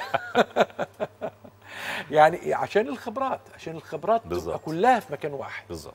تبقى لأن العملية دي بالذات عامل الخبرة فيها مهم جدا جدا. يعني حضرتك مثلا لما بنقول وزن الكبد. الأشعة قال لي في الأول إن هو وزنه 900 جرام. حصلت معانا في الفترة الأخيرة كذا مرة. نفتح العيان أبص على المتبرع أقول له الكبد ده مش هجيب ال 900 نقفل المريض. ونلغي الحالة. العيان ده لو أنا ما عنديش القدرة إن أنا أشوف بعيني إن الوزن ده مش زي وزن الأشعة وخدت الكبد وزرعته له هموته آه. فالحتة دي مش ممكن هتتعلمها من حالة ولا اتنين ولا عشر. لا ده أنت بعد ما 20 مرة خدت الكبد ووزنته وطلع في فرق في الوزن حفظت بعينك إن الوزن ده مش ممكن هيكون 900 ده شكله 600 بالكتير. يبقى بلاش. دي حاجة من ضمن آلاف الحاجات من بالظبط. ضمن مئات الخبرات. الحتة دي مهمة قوي قوي قوي الكونكلوجن النهائي بقى في, نهاية حلقتنا. اللي تحب نختم بيه؟ الزراعة آه، حل كويس. آه، بيفرق مع المريض بيقلب حياته 180 درجة. يعني ده بيتحول تحول تحول مذهل تاني لأن المريض اللي نفسه شاف مريض بعد الزراعة وقبل بالظبط. الزراعة مش هيعرفه. آه، لون وشه بيتغير. الصفار والغمقان اللي في وشه بيتغير نشاطه بيرجع له. فأنت فيها جانب جميل جدا. جانب اللي هو فعلا من الحاجات القليلة في الطب اللي بتقلب حياة البني آدم كلها 180 درجة. لكن في نفس الوقت عشان توصل لديت لازم تبقى حذر جدا ولازم تزعل أهل المريض إنك ترفض متبرع واتنين ويقولوا لك لأ ده إحنا تعبنا مش لاقيين غير دوت. لأ صر. وهم بعد كده هيعرفوا إن أنت كنت صح. وهم يعرفوا إن تعبهم ده جيب فايدة. فاتعب شوية عايزة خبرة شوية وعايزة إصرار إنك ما تقبلش بانصاف الحلول. الزراعة لازم كل حاجة فيها تبقى بالظبط. من أول التحضير لجوه العملية لمستهلكاتك جوه العملية. مفيش حاجة اسمها توفر في الزراعة مفيش حاجة اسمها تجيب حاجة أقل من المفروضة. كل حاجة مشيها زي ما الكتاب بيقول. هتصل للنتائج اللي إحنا نامل فيها إن شاء الله. تنورت. تنورت. خليك. وكالعادة أبدعت. وبنتظر حوارك لأنه من الحوارات اللي أنا بتعلم فيها كتير قوي الله يخليك. وبتعلم منك حاجات غايبة عني جدا لأنه ده منطقة جراحية أنا بحب أتميز ببقى شاطر. نورت يا دكتور. الله يخليك ضيفي العزيز القيمة العلمية الكبيرة والاسم العالمي استاذنا الأستاذ الدكتور محمد فتحي عبد الغفار أستاذ جراحات وزراعة الكبد الأستاذ بكلية الطب جامعة عين شمس زميل جامعة ايسب بالمانيا لجراحات الكبد والقنوات المرئية والبنكرياس وعميد معهد الكبد السابق. الاسم العالمي الكبير كان ضيفي في واحدة من أرقى حلقاتنا على الإطلاق في الناس الحلوه خليكم مع الناس الحلوه الدكتور إسراء أحمد السعيد استشاري جراحات الفم والأسنان بكلية طب القصر العيني. ماجستير جراحات الوجه والفكين كلية طب القصر العيني. ماجستير جراحة الفم والأسنان كلية الطب القصر العيني. حاصلة على الدبلومة الأسبانية لزراعة الأسنان جامعة سيفيا. عضو الجمعية الأمريكية لجراحين الأسنان. أهلا بيكم. النهارده يوم مهم جدا في عالم طب الأسنان. طب الأسنان عالم آه، ميزته الرائعة إنه تقدم تقدم مذهل في الفترات اللي فاتت دي على مستوى التكنولوجي وعلى مستوى الأمال. وطموحات مش بقى المرضى لا على مستوى طموحات طبيب الأسنان. اللي بيعجبني في طبيب الأسنان خصوصا المصريين إن عندهم آمال تسبق ربما آمال المرضى نفسها. لا إحنا مش مبسوطين من الابتسامة دي. رغم إن في مرضى في أوقات معينة كانت ال- السنان بتاعتهم اللي هي فيها عيوبات عيوب كتيرة دلوقتي بنشوفها آه لا ده ما ينفعش ده يتعمل في 2022 في 2014 و15 كانت الحاجات دي مقبولة. سنان جاية بيضة قوي شوية مش مش طبيعية قوي. كانت ماشية الكلام ده في 2016 و15 في 2022 لا هم عندهم رغبة وأمل وطموح إنهم يعملوا حاجة تفوق رغبة المريض نفسه. في نجوم في العالم كتير لولا طب الأسنان ما بقوش ما كانوش بقوا نجوم. توم كروز مثلا. توم كروز. يعني هذا الستيني الرائع. لكم أن تتخيلوا ان هو شباب كانت سنانه بايظة خالص. حتى تعبيره الوجه هو بيتصور. مفيش ابتسامه ومش عايز يبتسم. هو يعني ده شهاده وشه كده وبتاع. شوف الابتسامة عاملة إزاي دلوقتي ما شاء الله. وغيرها. يعني برضو توم كروز ميزته إنه بيجدد على طول في اسنانه جينيفر انيستون من من الناس اللي كانت صعبه ابتسامتهم جدا. وكان فيها عيوب جبارة. برضو آه، آه، سيلين ديون. اتكلمنا عنها قبل كده. مايلي سايروس. سيلين ديون كانت هما الاثنين مايلي سايرس كانت فيها عيوب في. ولو إن أنا شايف إن في أحسن من كده يتعمل لها. مادونا. مادونا ده دي كانت صعبه في كانت باينه و إلى آخره. نيكولاس كيدج ده بقى كان عيوب سنانه كلها عيوب. كلها عيوب. ظبطها وظبطها على مرتين. يعني أنا شفت له مستويين في الظبط جورج كلوني. يعني نجم السينما أو ده ده ممثل عبقري على فكرة. جورج كلوني رغم إنه ملوش أفلام كتيرة معروفة للمصريين لكن ده ممثل جيد جدا. ممثل عبقري. كل دول يدينوا بالفضل طب الأسنان اللي تقدم في العالم وتقدم في مصر تقدم كبير. وأنا بقول دايما إن طب الأسنان في مصر بالذات في ميزة أنا ملاحظها طموح طبيب الأسنان المصري أكبر من طموح مرضاه. في كثير لا المحترف طبيب الأسنان الإليت اللي على درجة عالية من العلم. تعال نسال ضيفتي العزيزة في المعنى ده وأكيد هي تحكوا لي أكتر من اللي أنا قلته بكتير. ضيفتي العزيزة واحدة من المبدعين في عالم طب الأسنان ومن super star هذا المجال الأستاذ الدكتوره إسراء السعيد استشاري جراحات الفم والأسنان وحاصلة على الدبلومة الأسبانية لزراعة الأسنان من جامعة سيفيا ماجستير جراحة الفم والأسنان من كلية الطب قصر. يعني أهلا بيك. أهلا بيك يا دكتور أيمن. منوراني. ربنا يخليك ده نور. أنا قلت بصدق إن أنا بلاحظ إن أنتوا عندكم طموح أكبر حتى من طموح العيانين. آه أنا عندي مشكلة الطموح دي والله دايما عمالة أدور على الأحسن. والأحسن والأحسن. يعني العيان بيبقى فاهم ده؟ الناس مش عارف هل العيان فاهم دوت ولا متصور إن كل الدكاترة كده. لا هو في بعض الناس عندهم طموح جامد قوي أنا حد منهم ودايما بدور على الأحسن وما بعرفش أثبت في مكاني. يعني أي كورس أي تكنولوجي جديد تلاقيني أجري عليه أشوف بيتكلم عن إيه هيوفر قد إيه للمريض هيسعده قد إيه. دايما أنا عندي الشغف الشديد لل لكل ما هو جديد وكل ما هو مفيد. يعني عندي المشكلة ديت فعلا يعني وبحبها جدا. ناس كتير قوي في مصر في فترات الثمانينات والتسعينات فقدوا أسنانهم الخلفية بالذات وطنشوا. في ناس فقدت أسنان باينة وبرضه كانوا مطنشين يعني. إيه مشاكل اللي ممكن كانت حصلت لهم في السنين دي من فقدان سنانهم؟ ألف ب pneumatization يعني ال- الجيب الأنفي هيبدأ إن هو بال gravity بال- بال- بالجاذبية الأرضية. هيبدأ إن هو ينزل بال- بالهواء اللي جوه الجيب الأنفي وبالجاذبية الأرضية. هيبدأ إن هو ينزل ينزل ينزل لحد لما يوصل للفك نفسه. آه، للفك اللي هو ما فيش عظم في الفك. هو هيفضل ياكل الفك من فوق لحد لما ينزل لحد اللثة. ممكن يبقى فاضل ربع ملي ونص ملي وملي وحاجات قليلة جدا. تيجي بعد كده تقول للمريض طب تعالى أنا بقى أزرع لك تيجي تعمل الأشعة تلاقي ما عندكش ولا ملي مش ممكن تزرع لازم ترجع الجيب الأنفي ده لمكانه تاني علشان تلاقي عظم وتزرع عظم, عظم طبعا عشان تلاقي مكان تزرع فيه أسنان. وعلى فكرة الموضوع دوت بيختلط على الناس إن هو لما بيرفع أو بيرجع الجيب الأنفي لمكانه هو بيبقى عنده نيزل تون أو بيكون آه، مناخيره بتتعوج هو ولا ده ولا ده. صوته هو هو مناخيره هي هي. ماليش دعوة أنا بالحاجز الأنفي أنا ماليش دعوة خالص ولا ولا بعوج مناخيره ولا أي حاجة. أنا برجع الحاجة لمكانها. بس كده. سؤالي بقى إمتى أقول إن الحالة دي تستحق زراعة سنان؟ آه، أي سنة مفقودة أنت لازم تلجأ إلى زراعة الأسنان. دايما ال- الناس لازم تفكر إزاي تروح للطبيعي مش تروح للصناعي. أجمل حاجة وأدوم نتيجة هي أقرب حاجة للطبيعي. المشكلة بس في إيه؟ هل هينفع تزرع ولا لأ بعد السنين دي كلها؟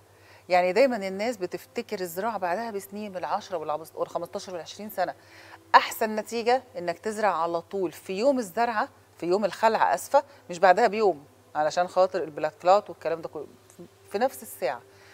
أو أو تستنى شهرين ثلاثة لما تبدأ بس يبدأ التكلس في المكان ممكن تزرع. لكن لما تستنى 20 سنة بيبقى الموضوع صعب. ده plus في برضو معلومة غايبة عن الناس جدا. أنا من الناس اللي بتحب التقسيط يعني ما بحبش أدخل أدفع المبلغ كله مرة واحدة. وبالذات في طب الأسنان لأنه هو مكلف حقيقي وبالذات لو أنت ده كويس. بت target qualities عالية. ده كويس. ده أنا بالنسبة لي لطيف كويس بت- جدا. بتسهل على الناس. مم. بس أنت ما ينفعش تكون عامل مرحلة اللي هي مرحلة زراعة عظم فقط والدكتور يقول لك هتيجي تركب تزرع بقى في المكان دوت بعد ست شهور أنت تقول له طب اديني ثلاث سنين. على ما اجمع مثلا مبلغ على ما افضى ما ينفعش. هتيجي بعد ثلاث سنين هيحصل bone absorption لأن أنت حاطط عظم صناعي. طول ما أنت سايبه وعمال تاكل عليه فأنت بتنزل عليه loads هيحصل له absorption زيه زي الطبيعي على فكرة. ما هو حضرتك في الأصل إيه اللي خلى العظم يتاكل؟ إن أنت كلت على الضرادير أو كلت على اللثة عملت forces ال forces أكلت في ال- ال- العظم الطبيعي. لو حاطط بقى صناعي كمان بيبقى نسبة ال resorption أو التآكل بتاعته أعلى. فما فيش حاجة اسمها تزرع عظم وتنام عليه ساعتين سنتين ثلاثة أو تأجل الزراعة سنتين ثلاثة ده كلام مش مظبوط خالص. لازم تعمل والمرحله اللي بعدها تدخل على طول. عايز أروح لحتة مهمة قوي برضو وأكد عليها. حالة ما ينفعلهاش زراعة. خالص يعني. خالص. هنضطر نعمل كوبري ثابت بقى. آه. يعني إحنا إيه الكوبري برضو الناس فيها حاجات غايبة عنها. الكوبري يعني إيه كوبري؟ يعني إزاي بيتعمل الكوبري؟ على فكرة أطباء الأسنان بيبقوا مهندسين برضو علشان المعلومة ديت. آه على فكرة. آه. أنا عرفتها لما كبرت. دكتور الأسنان هو مهندس هو فنان هو رسام. دكتور الأسنان دي مهنة بتعمل خلط ما بين حاجات كتير جدا حاجات هو مهندس علمية ده هو مهندس ده وحاجات أكيد. نفسية. آه لا المهندس ده إن أنت تشوف مهندس معماري. أيوة. أو- وتوزيع القوة و إلى آخره وفنان انه يطلع لك حاجة شكلها جميل. فيعني أنا أنا فخورة بطب الأسنان قوي بس كفاية دكاترة اسنان لحد كده. عشان كده فاضل في كل عمارة في ست دكاترة. كفاية قوي لحد كده. بس الطب البشري أمتع. طب الأسنان في فن جميل. الطب البشري آه تمام. ده أنا قاعدة قدامك. وهو تمام تمام طبعا ما حدش يقدر يتكلم. آه بص أنت كوبري يعني إيه؟ بييجوا يقوموا حاطين مثلا عمود في الأول وعمود في الآخر وبيعدي ما بينهم ال- ال- اللي هو هيكل الكوبري. دي نفس الفكرة بتاعت البريدج اللي هو اللي بنحطه في بق المريض. لازم عندك ضرس في الأول ضرس في الآخر. الضرس اللي مفقود في النص دوت أنت هتكمل تعمل الجامب ديت بضرس porcelain united يعني ملصق في الضرسين دولت. ده مشكلته بالنسبة لي إن أنا مش بحبه قوي لأن هو مع الوقت لازم هيتغير لأن هو بيدخل أكل ما بيدكش نتائج حلوة. ففي أوقات لازم ترجع لازم تلجأ للزراعة. specially إن أنت لو عندك فكرتين الكوبري أو فكرة الكوبري اللي عندك الاثنين اللي شايلين الكوبري لو واحد فيهم ناقص مش هتعرف تعمل كوبري. مفيش حاجة اسمها كوبري بتعلقوا المسافه دي كلها على الهواء مش زي فكرة البلكونة ما ينفعش. لازم يبقى عندك حاجة قدام وحاجة ورا ده الصح. حاجة زي كده. المريضة ديت راحت لأكتر من حد وهو آه، عايزين يعملوا لها آه، كوبري. المشكلة في إيه؟ المشكلة إن دوت بيعتبر long span يعني مسافة طويلة. يعني ما ينفعش تعمل كوبري من من أول القاهرة لآخر القاهرة من غير ما يكون في في النص دعامات تشيل. ما فيش حاجة اسمها كوبري يبقى بالطول ده. مستحيل. ده ده كلام مش منطقي. فلازم لازم هيكون آه، آه، عمره قليل وهيفشل الكوبري ده. فإحنا مضطرين نعمل زراعة. في الحالة دي زرعنا ثلاث زرعات والمفقود أربعة. تمام. ليه أسباب كتيرة جدا بقى؟ إيه دي عايزة دراسة جدوى في الموضوع ده. حطينا الثلاث زرعات دولت. آه بعد كده ركبنا عليهم بطريقة اللي هي طريقة ال screw retained اللي هو إيه؟ اللي هو إن التركيبة دي بص الفرق لا خرافي. جالها نفس حتى تحط روج. قبل كده ما كانش ليها نفس تعمل أي حاجة. ال- التكنيك دوت كمان بيفرق كتير جدا. إن ال screw retained دوت يعني أنت بتحمل التركيبة دي على السنان بمسامير مسامير فممكن في أي وقت تفك المسامير تنزل الكوبري اللي أنت عامله أو السنة اللي أنت عاملها ديت تعدل فيها أي حاجة وترجعها. يعني مثلا كان عندي حالة مركبة من من سنين كتيرة جدا. قدر الله إنها آه، وقعت فالسنان الأمامية ات- اتكسر منها اتنين أو ما اتكسرش هو بس اتشق يعني حصل له كراك موضوع يعني كانت الست منهارة أنا مركبة التركيبات دي بقها بقالها فوق العشر سنين. يمكن أكتر كمان من 10 13 سنة مثلا والمفارقة دي حصلت وهي هي خلاص بقى هي شي كانت افورد المبلغ دوت تاني وخلاص بقى هي مش عايزة تدخل في القصة ديت تاني. فكانت مخضوضة جدا هي كل القصة إنها دخلت لل staff بتاعي اللي هم متدربين اللي هم كأنهم أنا بالظبط. فك ظبطنا البورسلين ارجع bye bye خلاص موضوع بسيط قوي لا أنا هقول لك شيل الزرعات ولا أنا هقول لك هندعم الزرعات ولا هنقول لك أي حاجة خالص. حليت القصة في إيه؟ في زيارة واحدة. خلصنا شفنا المشكلة شخصنا خدنا منها بنينا رجعنا. ده دي حاجة على فكرة موفرة جدا. هو في الأول هي مكلفة إنك تعمل التكنيك ده مكلف. بس في الآخر هي موفرة جدا. لأن أنت في أي مشكلة أنت في ال safe side ما بتتحطش في المشكلة بتاعت اللي بيحطوا الوصلة اللي هي ال abutment على الزرع وبيبردها تخيلي وبيعمل كل حاجة تخيلية. الأكل هيدخل منين؟ دي مش بتاعته. هيتنضف إزاي؟ مش بتاعته. الكلام دوت هو اللي بيعمل المشاكل. لو حصل لك مشكلة التركيبة دي هتتشال هتترمي خالص مش هترجع تاني. ممكن تلجأ إن أنت يا تشيل الزراعات دي وتستبدلها يا إما تحط زراعات جنبها. فأنت دخلت نفسك في قصة طويلة جدا كان ممكن تحلها بقروش تزودها على التكلفة الحقيقية أو ال ال الأصلية فتلاقي الموضوع كده قاعد معاك العمر كله زي الفل. عايز أروح بقى لنجم النجوم. التجميل. آه ال veneer. ال veneer. ليه الفينير هو نجم النجوم؟ هل يصلح في جميع أنواع التجميل؟ أعتقد إن الفينير ما بقاش نجم النجوم دلوقتي. ما أنا برضو حاسس بقى آه بقى curve ه نزل مش لأن مش نزل اتعدلت الميزان. اتعادل. مثلا هو كان طالع ببروباجندا جامدة شوية. هو الفينير حاجة جميلة جدا. بس آه، الناس فاهمة إن هو العصا السحرية اللي بتعمل بيها كده تجيب كل حاجة وسهل. original. آه وأنت عدي. كده عدي بالليل. ما- آه ما الناس عندها انتقاد إيه؟ من سبعة لسبعة ونص. أيوه صح. عارفة من سبعة لسبعة ونص؟ آه. آه, آه. من سبعة لسبعة ونص هفوت عليك كده تعمل لي تجميل بقى في سبعة الليل. وتلت كفاية. آه بالظبط. آه. والفيديوهات دي ادتهم الانطباع ده. ما هو أنا برضو برجع أقول يا جماعة بلاش نجري ورا ال social media بالشكل ده. أنا أنا أنا نفسي الناس بدأت تفهم الحكاية دي في كل فروع الطب إن ال social media دي مسيلمه كده بتهول قوي قوي. بلاش موضوع إن إحنا نجري ورا الناس اللي بتعمل prices خيالية الرخص مش حلو. بلاش ولا ولا خيالية ال- السرعة. يعني أنا ولا خيالية الغلا. ولا خيالية خلي بالك إن في ولا في طقم في في نوعية من الناس بتغلي عشان يتقال عليها أغلى حد وهم ممكن يكونوا إيديهم سيئة جدا. صح. الكلام ده في كل فروع الطب يا جماعة فخلي بالكم من الحكاية دي. لا سيئة جدا صعب. هو ممكن. يكون متوسط لكن عمره آه، ما آه، هيوصل متوسط. للمكانة دي آه، وهو متوسط. سيء جدا. ممكن يكون متوسط. متقلب المتوسط وحياتي. بس ربنا فتح عليه. بس برضه ما نقدرش نقول إن هو نجري ورا الأوفر. دايما الاكزاجيريشن وحش. ولا ده ولا ده. آه، خلينا كده في المعقول. دايما ليه الناس تقول لك فك كامل في في في, في ربع ساعة ولا في نص ساعة؟ آه، ساعتين مش عارفة إيه. ركب سنانك وسنان اللي قاعد جنبك مش عارفة كام وقسط على أربع سنين. ليه؟ ليه؟ ليه؟ ما هو بيقول انت لو نزلت تنجد الانطريه هتدفع أكتر من كده. ليه؟ ليه؟ ليه؟ ليه, ليه مستعجل على الدنيا كده؟ فعايزين فعلا بنصح الناس إنها تشغل دماغها. فك كامل في ربع ساعة. آه، الناس بتقول ده كلام لو هيزرع الفك. كامل في بق آه، انت لو- لعبة. أنا من هواة الزراعة أنت لو هتزرع يعني شجرتين هتاخد أكتر من ربع ساعة. في إيه؟ في إيه؟ مش بتعمل حفرة وبتاع. يعني في الحاجة بتاخد وقتها.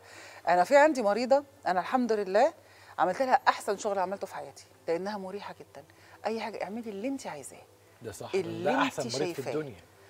أحسن ده حاجة وما ده تناقشنيش. أنا اناقشك قلبي. في النتيجة. بز... يا على مزاجي حبيب بقى. قلبي على ده. مزاجي دي بقى ده حبيب ليه؟ قلبي ده. بتخليك تشتغل بقلب بقلب وبحب وبتبقى عايز تنتج وتجيب وتجيب حاجات. يعني مثلا ال- ال- المريض دوت مثلا اللي إحنا عارضين صورته ده إيه مشكلته؟ مشكلته إن هو جاي قاعد في مصر يومين اتنين. وعنده بروز في الفك العلوي ومضايقه جدا ومش هيعمل تقويم. هو يومين دي خلاص ما, فيهاش كلام. الحالة ديت عملنا لها crowns مش veneers طلعت بنتيجة مقبولة جدا. أنا مصورة لك بس من الجنب عشان تشوف البروز شكله إيه. النتيجة خيالية. بطريقة برد معينة. خيال آه. بطريقة برد معينة بطريقة تصوير معينة بطريقة انت عندك حاجة اسمها camouflage بتعمل camouflage كده في في السنان بحيث إنها تبدو إنها داخلة لجوه مش تبدو إنها طالعة لبره. آه، عملت نتيجة حلوة. هو فعلا أنا خدت كام ساعة أو سلمته تاني يوم على ما أتذكر بس بتجيب نتيجة حلوة جدا بس مش معنى كده. يبقى مثلا أنت لو سألت عامة الشعب يقول لك veneers. يا جماعة ال veneers دي حاجة جميلة بس طاقة محدودة. ال veneers بتعمل لك حاجتين. يا إما بتقفل فراغات صغيرة مش فراغات كبيرة يا إما بتغير لون السنان. لا في حاجة ثالثه تستعدل وضع سنة وما يكونش عميق يعني ما يكونش عنيف. ما تكونش مثلا السنة في سقف الحلق وأنت عايز تطلعها بره وتقول الفينير هتعملها مفيش حاجة اسمها كده. هي بتعمل كل حاجة قليل. الحاجة الوحيدة بتعملها كتير تغيير اللون. يعني ممكن واحد اسنانه وبني طلعها لك أبيض لبن. ماشي دي هيعملها الفينير مفيش أي مشكلة. لكن إن أنت بتتكلم في قفل فراغات قفل فراغات صغيرة. تتكلم في إن هي آه، تستعدل وضع سنة فلازم يكون الإعوجاج حاجة صغيرة. ما يكونش في حاجة مبالغ فيها الفينير هيحلها حاجة مبالغ فيها crowns يبقى مش veneers خالص. لازم تعمل تغطية كلية علشان تمشي badly تمشي بالسنة ديت في اتجاه تاني خالص. فعايزة الناس بس تعرف ال veneers هي قد إيه جميلة بس ليها حالات معينة. هل الناس في التقويم بتعترض على يعني بالتالي التقويم عاده بقوة يعني. آه طبعا التقويم عاده بقوة بس الناس دايما عندها إيه؟ ليه لما أنا هعمل تقويم وهعمل زراعة طب ما أنا أخلع السنان اللي مش في مكانها وأعمل زراعة ما أنا كده كده هعمل. زراعة. ليه؟ يعني واحد صباعه آه، آه، الودنة وجعاه يقطع دراعه. ليه؟ عند- حضرتك عندك سنان وماتيريال كويس اخلعها عشان اعمل بديل ليها وليه أجيب البديل لما أنا عندي الاوريجينال. لا طبعا. آه مفيش حاجة اسمها كده. ال ال ال لكل مقام مقال. انت دلوقتي محتاج توسع مسافات عشان تحط زرع عشان تظبط علاقة فكين يبقى هو دوت ال- ال- اللي انت هتعمله. لكن مفيش حاجة اسمها اختار لك واحدة. ممكن اختار لك اتنين ممكن اختار لك ثلاث حاجات تتعمل مع بعضها ممكن بعد ده كله أقول لك عملية تجميل لسه علشان نظبط الابتسامة. ممكن كذا حاجة ما فيش حاجة اسمها هي خطة علاجية واحدة هتستمر فوريفر لا ممكن الخطة دي ليها الخطة دي ليها الخطة دي. أهم سؤال عايز أسأله لك النهارده. الابتسامة اللثويه الابتسامة اللثوية. أول حاجة الناس لازم تستوعبها. الابتسامة اللثوية ديت ناتجة عن إيه؟ لو الابتسامة اللثويه ديت ناتجة عن بروز في الفك العلوي بيبقى آه العملية الجراحية ليها أفضل من إن أنت تعملها آه بتجميل أو تعملها بقص لثه أو تعملها بعملية اسمها lip repositioning أو إعادة وضعية الشفة آه ليها قصة. plus ال thickness أو تخانة الشفة العلوية. دي من الحاجات اللي ممكن جدا بعد ما نخلص الخطوات دي أقول لك روح لدكتور آه، آه، آه، جلدية هيحط لك filler في الشفايف علشان تنفخ شوية ساعتها دي حاجة علاجية مش مش تجميلية. حالة زي كده الحالة ديت دي تنفع إن أنت تتعامل معاها ك نحت لسه وتجميل لسه وينفع تعمل معاها إعادة وضعية الشفة وتغير مكان الشفة دي. بدل ما هي بتبتسم الشفة دي تطلع لحد المراخير لا أنت بتحد الحركة بتاعتها بعملية بحيث إنها تثبت في مكانها. دي عملت عمليتين. دايما إعادة وضعية الشفة أو سوري الابتسامة اللثوية ما بتبقاش مانوفر واحد. دي أكتر من عملية عشان توصل للنتيجة دي.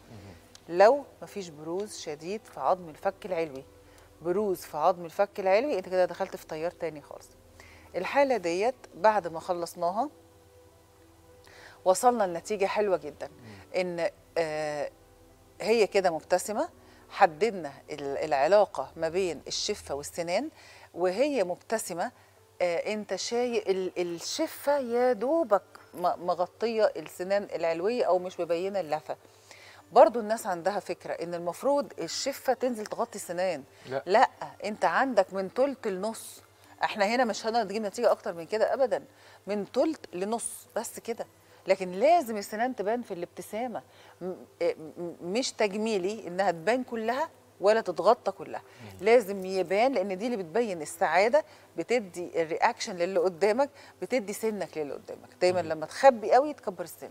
آه لو السنان ما بانتش السن هيكبر على طول. بالظبط كده. ولو بانت قوي مع اللثة تدي شكل تدي وحش. شكل طفولي وحش. صح. مش حلو. يعني صح. ما يعني أنا عشان كده قلت لك أهم سؤال هسأله لك النهارده لأن دي بتفرق في الشكل جدا. جدا. وعلى فكرة اللي عنده ابتسامة لثويه بيجي يعني نفسيته وحشة جدا. يقول لك اعملي اللي تعمليه ايا كان إن شاء الله تعملي إيه بس عايزه أخلص من الابتسامه اللثويه هي فعلا شكلها مش حلو. حتى في في ممثلات أمريكان كتير عندهم ابتسامه لثويه أثرت على career هم.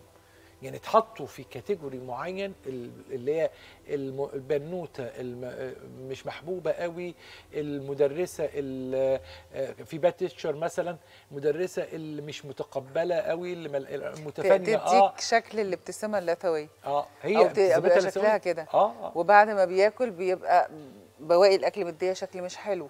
يعني الابتسامه اللثويه ديت فعلا اللي عنده المشكلة ديت بيبقى متضايق منها جامد يعني. انت نورتي وابدعتي ربنا يخليك يا دكتور أيمن. واسعدتني بحوارك الممتع جدا وتلقائيتك الجميلة في كثير من الأوان من ربنا الأحوال يخليك. التي تعبر عن رؤيتك لمعاناة لطريقة تعامل لثقافة ناس في التعامل مع المشكلة دي بالطريقة دي. لازم تتغير.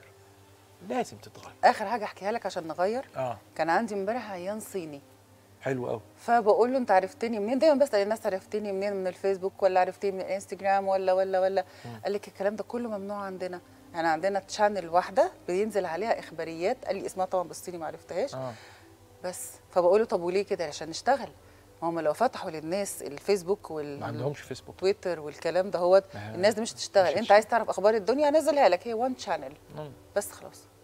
زي زي ما تخيل. كان بيحصل في الجيل بتاعنا. زي ما كنت تخيل. أنا بقى, بقى, أنام بالليل يعني كده. ده ده, ده شيوعية بحتة اللي هو ده؟ هو داخل كده؟ اللي هو الشعب ما بيعملش طب ده بتعملوا. إيه في وقت فراغكم؟ ما عندناش وقت فراغ إحنا بنشتغل. ده صح. طب بالليل ما بتتفرجش على أي حاجة كده light فيديو بيتفرج. بتاع أي حاجة؟ قال لي آه اتفرج. بس ما فيش الفيسبوك وفيش الانفتاح اللي أنتم فيه. أنتوا هنا هو نفسه قالها. أنتوا مهدرين عمركم ومستقبلكم وشغلكم. في ال- في الحاجات بصي دي؟ بصي يا دكتور إسراء. أنا رأيي الذي لن يتغير إن الفيسبوك ديمقراطي قوي جدا لن يتغير. لن آه خلاص آه. خلصت. الفيسبوك وأتباعه اللي هم بقى انت عايزة تحطي بقى جنبه بقى إنستجرام تويتر. تويتر والحاجات الحلوة دي. دول غير مناسبين للعقل البشري علميا. يعني العقل البشري مش مناسب له إنه يفتح يتفرج على أخبار 5000 إنسان في نفس الوقت. العقل البشري كبيره يعرف أخبار خمسة ستة حواليه. خمسة ستة اللي هم مين؟ ابنه مراته أبوه أمه اتنين تلاتة من أصحابه. لكن إن أنا أفتح ألاقي 5000 إنسان بيحب بح ب- ب- بح شكلهم بميولهم بأفكارهم بأفراحهم بأحزانهم. تبدأ تقارن. قدامي ده مش مطابق لكهربة مخي. ده يعني انت كده جبتي جهاز اخره يشتغل 10 فولت ركبتيه على 5000 فولت فالمخ فالجهاز ده هيتحرق. هيتحرق بسبب تدافع أخبار بتوالي غير عادي على على ال بالمقارنات، بالمقارنات بال- بإن أنا أبص ألاقي إيه واحد عنده عربيات فخمة جدا وأنا مش عارف أكمل مصاريف شهري فمش هرضى ابدا.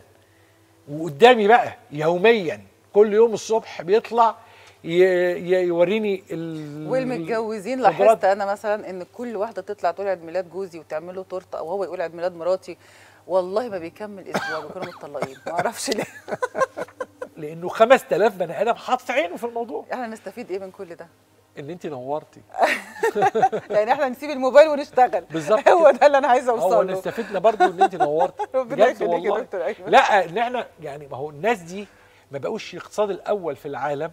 غير لما قفلوا غير كل لما عمل لا لو كانوا عملوا غير كده ما بقالوش بقى كانوا هيبقوا قاعدين معانا. ولذلك بص في فيلم إحنا معتمدين على الصين. طب أنا هقول لك العالم. كله معتمد على الصين يا جماعة. في فيلم أنا فر أنا برشحه للناس لا تنظر للأعلى. Don't Look Up فيلم مهم جدا. ل آه، آه، آه، يعني مجموعة من المبدعين ال- الممثلين في هوليود عملوا فيلم حلو قوي الفيلم ده فكرته الأساسية إنه بيوريك أمريكا وصلت لإيه؟ في الأولويات. إزاي؟ في الأولويات آه لقوا إنه في كارثة عندهم في العقلية وفي الأولوية. إنه ناس جاية بتقول إنه في خطر كبير جدا على الأرض إنه نيزك هيضرب الأرض. حاطينهم في الحوار ومش مهتمين بيهم ومش عايزين يسمعوهم وحاطين إنه واحد وواحدة آه، آه، يوتيوبر أو مغنيين راب آه، بينفصلوا أو بيرتبطوا كخط كالمانشيت الأساسي والحوار الأساسي اللي كل الناس بتفكر فيه. فهو بيوريكي من ضمن الحاجات إنه إحنا رحنا في 60 داهية بسبب الأفكار الأفكار والأولويات الغلط. صح. ما هو السوشيال ميديا تحياتي يا الناس كلها الأولويات. الأولويات الغلط الناس هتيجي من الساحل تلاقي ديون وحاجات بسبب إنهم صرفوا فلوس في الساحل صح. أهلا بيكم في الساحل نورت.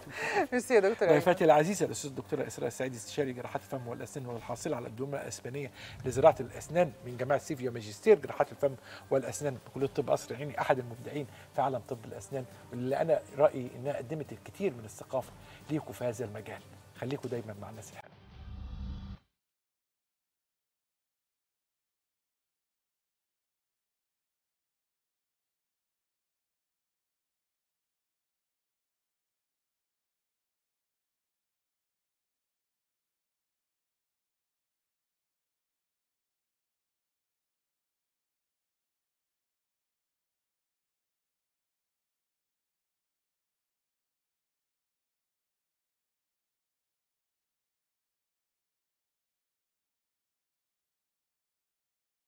أهلا بيكم. النهارده يوم مهم جدا في عالم السمنة هذا العالم المثير. مريض السمنة يا جماعة يومه وحياته يعني فيها الكثير جدا من الإحباطات فيها الكثير جدا من العزلة أحيانا. حتى لو بان إن هو له أصحاب و لكن هي عزلة. لو إحنا شفنا نموذج كده لكتير من مرضى السمنة. وطبعا لو إنتوا خدتوا بالكم تعبيرات وشه كلها هو ماشي على غير هدى ما تحسش إن هو رايح مكان هو ماشي وخلاص. وهو ده بالنسبة له المشي بتاعه. في ناس فاكرة إن المشي بتاع السوبر ماركت وبتاع ال- ال stores والمشي اللي هو وأنا مثلا رايح مول مش عارف إيه أتمشى كده أنا بخس. ما بيخسسش ولا جرام المشي ده. المشي اللي بيخسس ده مشي تاني مشي سريع جدا لازم تعرق فيه ضربات قلبك تزيد. وطبعا بالنسبة لمريض السمنة المفرطة القصة ينوت عليها يعني محاذير. فخلينا نقرب من مريض السمنة بشكل دقيق ونفهمه. هذا المريض الحقيقي اللي للأسف مظلوم يبان طبيعي ويبان بيضحك ويبان له اصحاب لكن أنا بقول لكم هو في عزلة شديدة جدا. لازم يكون قلبنا عليه. لازم نحط نحطه في عينينا وعلى دماغنا. وأوعى حد يتنمر بمريض السمنة. أوعى حد يتنمر. عليه إحنا بنوريكم خطورة الأمور. لكن تتنمر على حد ما تبقاش مؤدب. خالص. التنمر ده قمة قلة الأدب. لكن تعالوا نسمع العلم النهارده بدقة شديدة جدا من واحد من نجوم عالم جراحات السمنة بيسعدني الحوار معه دائما وبيبدع دائما في شرحه وتفصيله والطرح ال- ساعات يكون آه، في الدقة بدقته آه، تحس إنه مجسم كأنك عايش فعلا مع المريض. وكمان كتير جدا بيتعرض إلى الجوانب النفسية والاجتماعية لمرضى السمنة بشكل دقيق. ضيف العزيز هو القيمه العلمية المتميزة والاسم اللامع في هذا المجال الأستاذ الدكتور كريم صبري أستاذ جراحات السمنة والمناظير الأستاذ بكلية الطب جامعة عين شمس مدير وحدة جراحات السمنة بمستشفى وادي النيل زميل كلية الجراحين الملكية بإنجلترا عضو كلية الجراحين الأمريكية وصاحب أعلى تصنيف جودة دولي في جراحات السمنة. ضيفي العزيز أهلا بيك يا دكتور أهلا. وسهلا. أهلا وسهلا. قبل ما أبدأ أنا عايز أ- أ- أ- يعني أرسل تحية خاصة لجامعة عين شمس وقسم جراحات السمنة في جامعة عين شمس على الجهد الكبير اللي أنتم بتعملوه. الحقيقة كل يوم نجاحات بتابع نجاحات الكبيرة للقسم، نجاحات الكبيرة لل- للمستشفى آه، و- والتوسعات منبهر بالتوسعات كمان وبالحاجات الجميلة اللي بتعملوها، السور الجديد اللي بيتعمل، حاجات حلوة قوي. أنا يعني في البداية تحياتي لحضرتك وكل السادة المشاهدين وكل فريق العمل وأضم صوتي لصوت حضرتك طبعا في الإشادة بكل ما يعني آه، يعني بيتعمل في جامعة عين شمس آه، الحقيقة طبعا عصر ذهبي في كل الإنشاءات في الأبحاث العلمية في يعني تجهيز المست... يعني. يعني ال- الجامعة بأحدث ما يمكن من اوض عمليات والحقيقة طبعا أنا بحس إن إحنا في حلم مش يعني في حاجة يعني هيبقى الحمل تقيل على القادم. يعني هو يواكب فعلا التطور. آه، تحس إن في كل حاجة واخدة على أقصى أقصى حاجة في كل حاجة آه. آه. مستوى جامعة عين شمس في المستشفيات دلوقتي وصلت للذروة يعني في, كل الإمكانيات الطبية والعلمية والنظام وخصوصا آه، في جراحات انت قاعد. قاعد لا، بره ف جراحات السمنة بالذات واسم جراحة السمنة طبعا بكوادر آه، علمية رهيبة يعني آه، الحقيقة في مشاركات علمية دقيقة متابعات لكل ال- المستجدات الطبية وتجهيز على أعلى مستوى في أوض العمليات آه، حاجة تدعو للفخر آه، إن جامعة عين شمس آه، فعلا من الجامعات اللي اللي اللي فعلا تقول إن ده العصر الذهبي اللي هو كل واحد بيشتغل في أي جامعة مصرية ي- يتمنى إن هو يبقى في جامعة عين شمس في هذا العصر الذهبي بنحسدكم يعني لا الحقيقة حاجة حاجة بس كبير. جميل يعني ده اللي. بيسموه الغبطة يعني يعني حاجة جميلة خالص مريض السمنه مكتئب مريض السمنة بيعاني من ضغوط نفسية. أنت تحكي لنا أكتر من غيرنا من غيرك. يعني أنت أنت يعني قريب من مرضى السمنة وقريب من مرضاك بشكل خاص وأنا بتابع طبعا إن أنت بتقعد تتكلم معاهم وإلى آخره. في جلسات سبورت نفسي؟ قبل طبعا؟ طبعا طبعا طبعا. ويعني إحنا عايز أقول لحضرتك إنه آه، يعني آه، ال- ال- المريض السمنة المفرطة هو مرهف الحس. إذا كنت قادر أعبر يعني كويس آه، يعني بيتأثر من النظرة وبيتأثر من الكلمة وبيتأثر ال- إحنا يعني مدربين حتى السكرتاري عندنا في كل المراكز إن هم البادي لانجوج النظرة الكلمة لازم تكون بحساب. لأنه أحيانا آه، طبعا بيتأثر بكلمة آه، بيتأثر بتصرف آه، يعني بيحس فيه under estimation أو أو يعني سوء تقليل. تقدير آه، لوضعه. آه، إحنا يعني لو هنبتدي نتكلم على على الطفل اللي هو الصغير اللي هو بقى ذكي جدا ومش قادر يحصل دراسيا قد زمايله التانيين. لأن لمجرد بس إن إن هو فاقد الثقة في نفسه لأنه مش مش قادر يجري زيهم مش قادر يتحرك زيهم مش قادر يلبس زيهم حاسس إن المدرس أو المدرسة أحيانا أحيانا طبعا ما يعني لا لا يعني ما بقيمش الوضع لكن أحيانا بيكون في نظرات سلبية من المجتمع لجلد هذا الطفل الصغير. أي بأن- مدرس على أي- فكرة أو مدرسه ما عندهمش الخبرة ويبدأ يتعامل مع طفل في من تلامذته بنوع من الت... من التقليل أو يقول له حتى جملة باللفظ. أو لفظ. لازم يعاقب. طبعا لازم يعاقب طبعا من طبعا. إدارة المدرسة هي بشكل مباشر ما فيهاش هزار ما فيهاش هزار. إحنا زمان حتى يمكن كنا نشوف ال ال الأهل نفسهم بيتنمروا على الطفل دلوقتي ما بقاش نشوف كده. آه. لقينا الأهل دلوقتي بقى عندهم حزن شديد وشايلين هم الطفل الصغير وتدرج بقى. البنت المتأخرة عن الزواج البنت مش قادرة اللي نجحت في الثانوية مش عايزة تروح الكلية عشان وزنها آه، كبير. يعني في هزيمة نفسية غير دراسية خالص ولا علمية خالص. هم أذكياء جدا وروحهم عالية جدا وتلاقيهم جمال و وسواء في, في كل الأعمار على فكرة. السمنة المفرطة بتضفي نوع من آه، برضو يعني المرح يعني أو عدم أخذ المواقف الصعبة بصعوبة يعني. لكن هو بيكون بيتقطع من جوه يعني لأنه في عنده مشكلة في الرياضة عنده مشكلة في اللبس عنده مشكلة في الكوميونيكي عنده مشكلة في العمل نفسه. ما انت عايز تعيش حياتك الطبيعية كما يجب يعني. فالسمنه المفرطة إحنا يعني طبعا جلد ال- الناس المصابة بالسمنه المفرطة أنا يعني لازم نعرف إن ده مرض chronic disease يعني ده مش حاجة ترفيهية ولا ولا هو. ناتج عن زيادة الأكل يعني. هو الجسم آه، بيدفع الإنسان المريض بالسمنة إلى استهلاك أنواع معينة من الأكل ترضي آه، شغف وشراهة الجسم لهذه الأنواع. ال state of hyperinsulinemia أو ال insulin resistance أو يعني هو عايز ياكل أكل آه، فيه طاقة عالية. هو ما بيدورش على الأكل الصحه خالص. هو مش ده اللي هيكفيه الخضار الجسم محتاج لكالوريز آه، عالية وبالتالي إحنا جزء من ال- ال- المريض اللي مصاب بالسمنة وهتلاقي جزء منه وراثي كتير. في في في معظم العيانين بتلاقي أم أو أب أو أسرة. أنت بتجلد الطفل ده ليه يعني؟ أو تجلد البنت الصغيرة دي ليه؟ ما هو ده ده سمنة وراثية جينات. هي مؤهلة لاستقبال وتخزين أقل كمية من الأكل.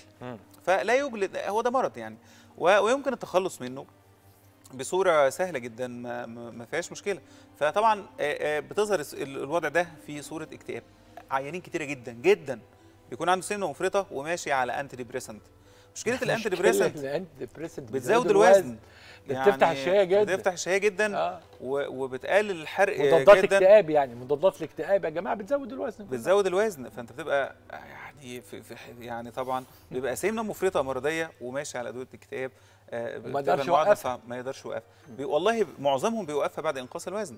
بي بيبقى عنده self satisfaction وبينزل وزنه وتلاقي الأدوية قلت آه، خالص وابتدى إن هو يتصور ويحط صور على الفيسبوك على ال- ال- الإنستجرام هتلاقي يعني تواصل مع المجتمع كما يجب. دي آه، ثقة في النفس بيبتدي إن هو يتعافى. بصورة سريعة جدا وما بيتطلبش ان هو ياخد علاج ما بعد آه، ذلك. أمراض كتيرة بسبب آه، تأخر سن الإنجاب تأخر الزواج أصلا عموما عدم الحصول على وظائف. هتلاقي عدم يعني ال- ال- ال- الفشل الدراسي أو عدم مواجهه يعني المجتمع في الصورة اللي إحنا موجودين فيها دي كلها أسباب قد تؤدي إلى آه، الهزيمة النفسية والاكتئاب بصورة آه، واضحة جدا. يمكن علاجها بإنقاص الوزن. في فيلم مشهور قوي اسمه The Equalizer أو الموازن آه، لل يعني للمبدع للمبدع دانزيال واشنطن. فكان في الفيلم هو معاه آه، آه، زميل له في العمل المفروض إنه وزنه زايد وهيتعين أمن. فهم مش عندهم اشتراطات إن الأمن لازم وزنه يبقى كذا. شوف المعاملة الجيدة جدا من زميل لزميله إزاي بيقول له لا أنت لازم تخس إزاي تقل ألو... هو وزنه زيادة بسيطة مش سمنة مفرطة يعني. فيعني كانت أنا افتكرت المشهد بتاع السبورت النفسي الدعم النفسي وإزاي العمل. أنت لما قلت حكاية العمل ما في شغل معين يترفض المريض السمنة بسببه. آه بنشوفها كتير ومش لازم توصل يعني أنت يعني 80 كيلو أنت بقيت 90 كيلو أنت خلاص كده. يعني قصدي في بعض الوظائف آه، يعني اللي بتحتاج يعني آه، يعني المظهر مضيف أو لو عايز يشتغل طيار طبعاً. أو مضيف الطيران أو أو طبعاً. طبعا أو ضابط شرطة أو ضابط آه، حربية لازم وزنه يبقى كويس. أنا يعني مش عايز أخصص وظائف بعينها لكن هو في بعض الوظائف إذا يعني تعدى الوزن ال- معين خلاص أنت يعني غير صالح للعمل. هتترفد يعني ما هو ده السؤال. فإنقاص الوزن في كل الحاجات لازم. آه طبعا. ويعني الوظائف العلمية الوظائف دي حاجة مهمة جدا. وإحنا في يعني بس على نطاق يعني انت مش لازم توصل لكتلة جسم آه، فوق ال 40 عشان تبتدي تفكر في إنقاص الوزن. أحيانا بيبقى الوزن أقل من كده في بعض الوظائف يعني مضيفة مثلا. هي وزنها خلاص كا- جربت دايت وجربت بالون معدة هو وزنها عندها 20 كيلو زيادة. أنا لا أدعو إن إحنا يبقى عندنا 20 كيلو فأعمل عملية تكميم بس برضو إحنا يعني أحيانا في بعض الكتل اللي بتبقى بدل ما سنك 32 30 32 في بعض الوظائف الحرجة آه انت هتعمل له إيه؟ ما هو راكب بالونه مش نافع معاه وهيترفد من شغله. فطبعا أحيانا بنعمل عمليات التكميم من العمليات اللي بتتعمل في إنقاص الوزن الأوزان الصغيرة في الناس اللي هي تتطلب وظائف معينة آه لذلك. آه فتكون بس كتلة الجسم 30 32 بنبتدي نعملها إذا فشل في طرق تحفظية آه لذلك. في عمليات طبعا زي تحويل مسار آه، بأنواعها تحويل مسار المعدة الكلاسيكي تحويل مسار الاثنى عشر من العمليات اللي إحنا مهملينها خالص لكن هي فعالة جدا في علاج السمنة المفرطة مع آه، آه، يعني زي كوليسترول عالي زي أمراض اللي هي ال- الأمراض الميتابوليك آه، اللي هي زي السكر دي بتكون فعالة من أقوى العمليات اللي بتعمل في التاريخ لعلاج الأمراض اللي هي المتعلقة بالسكر والكوليسترول وأمراض القلب.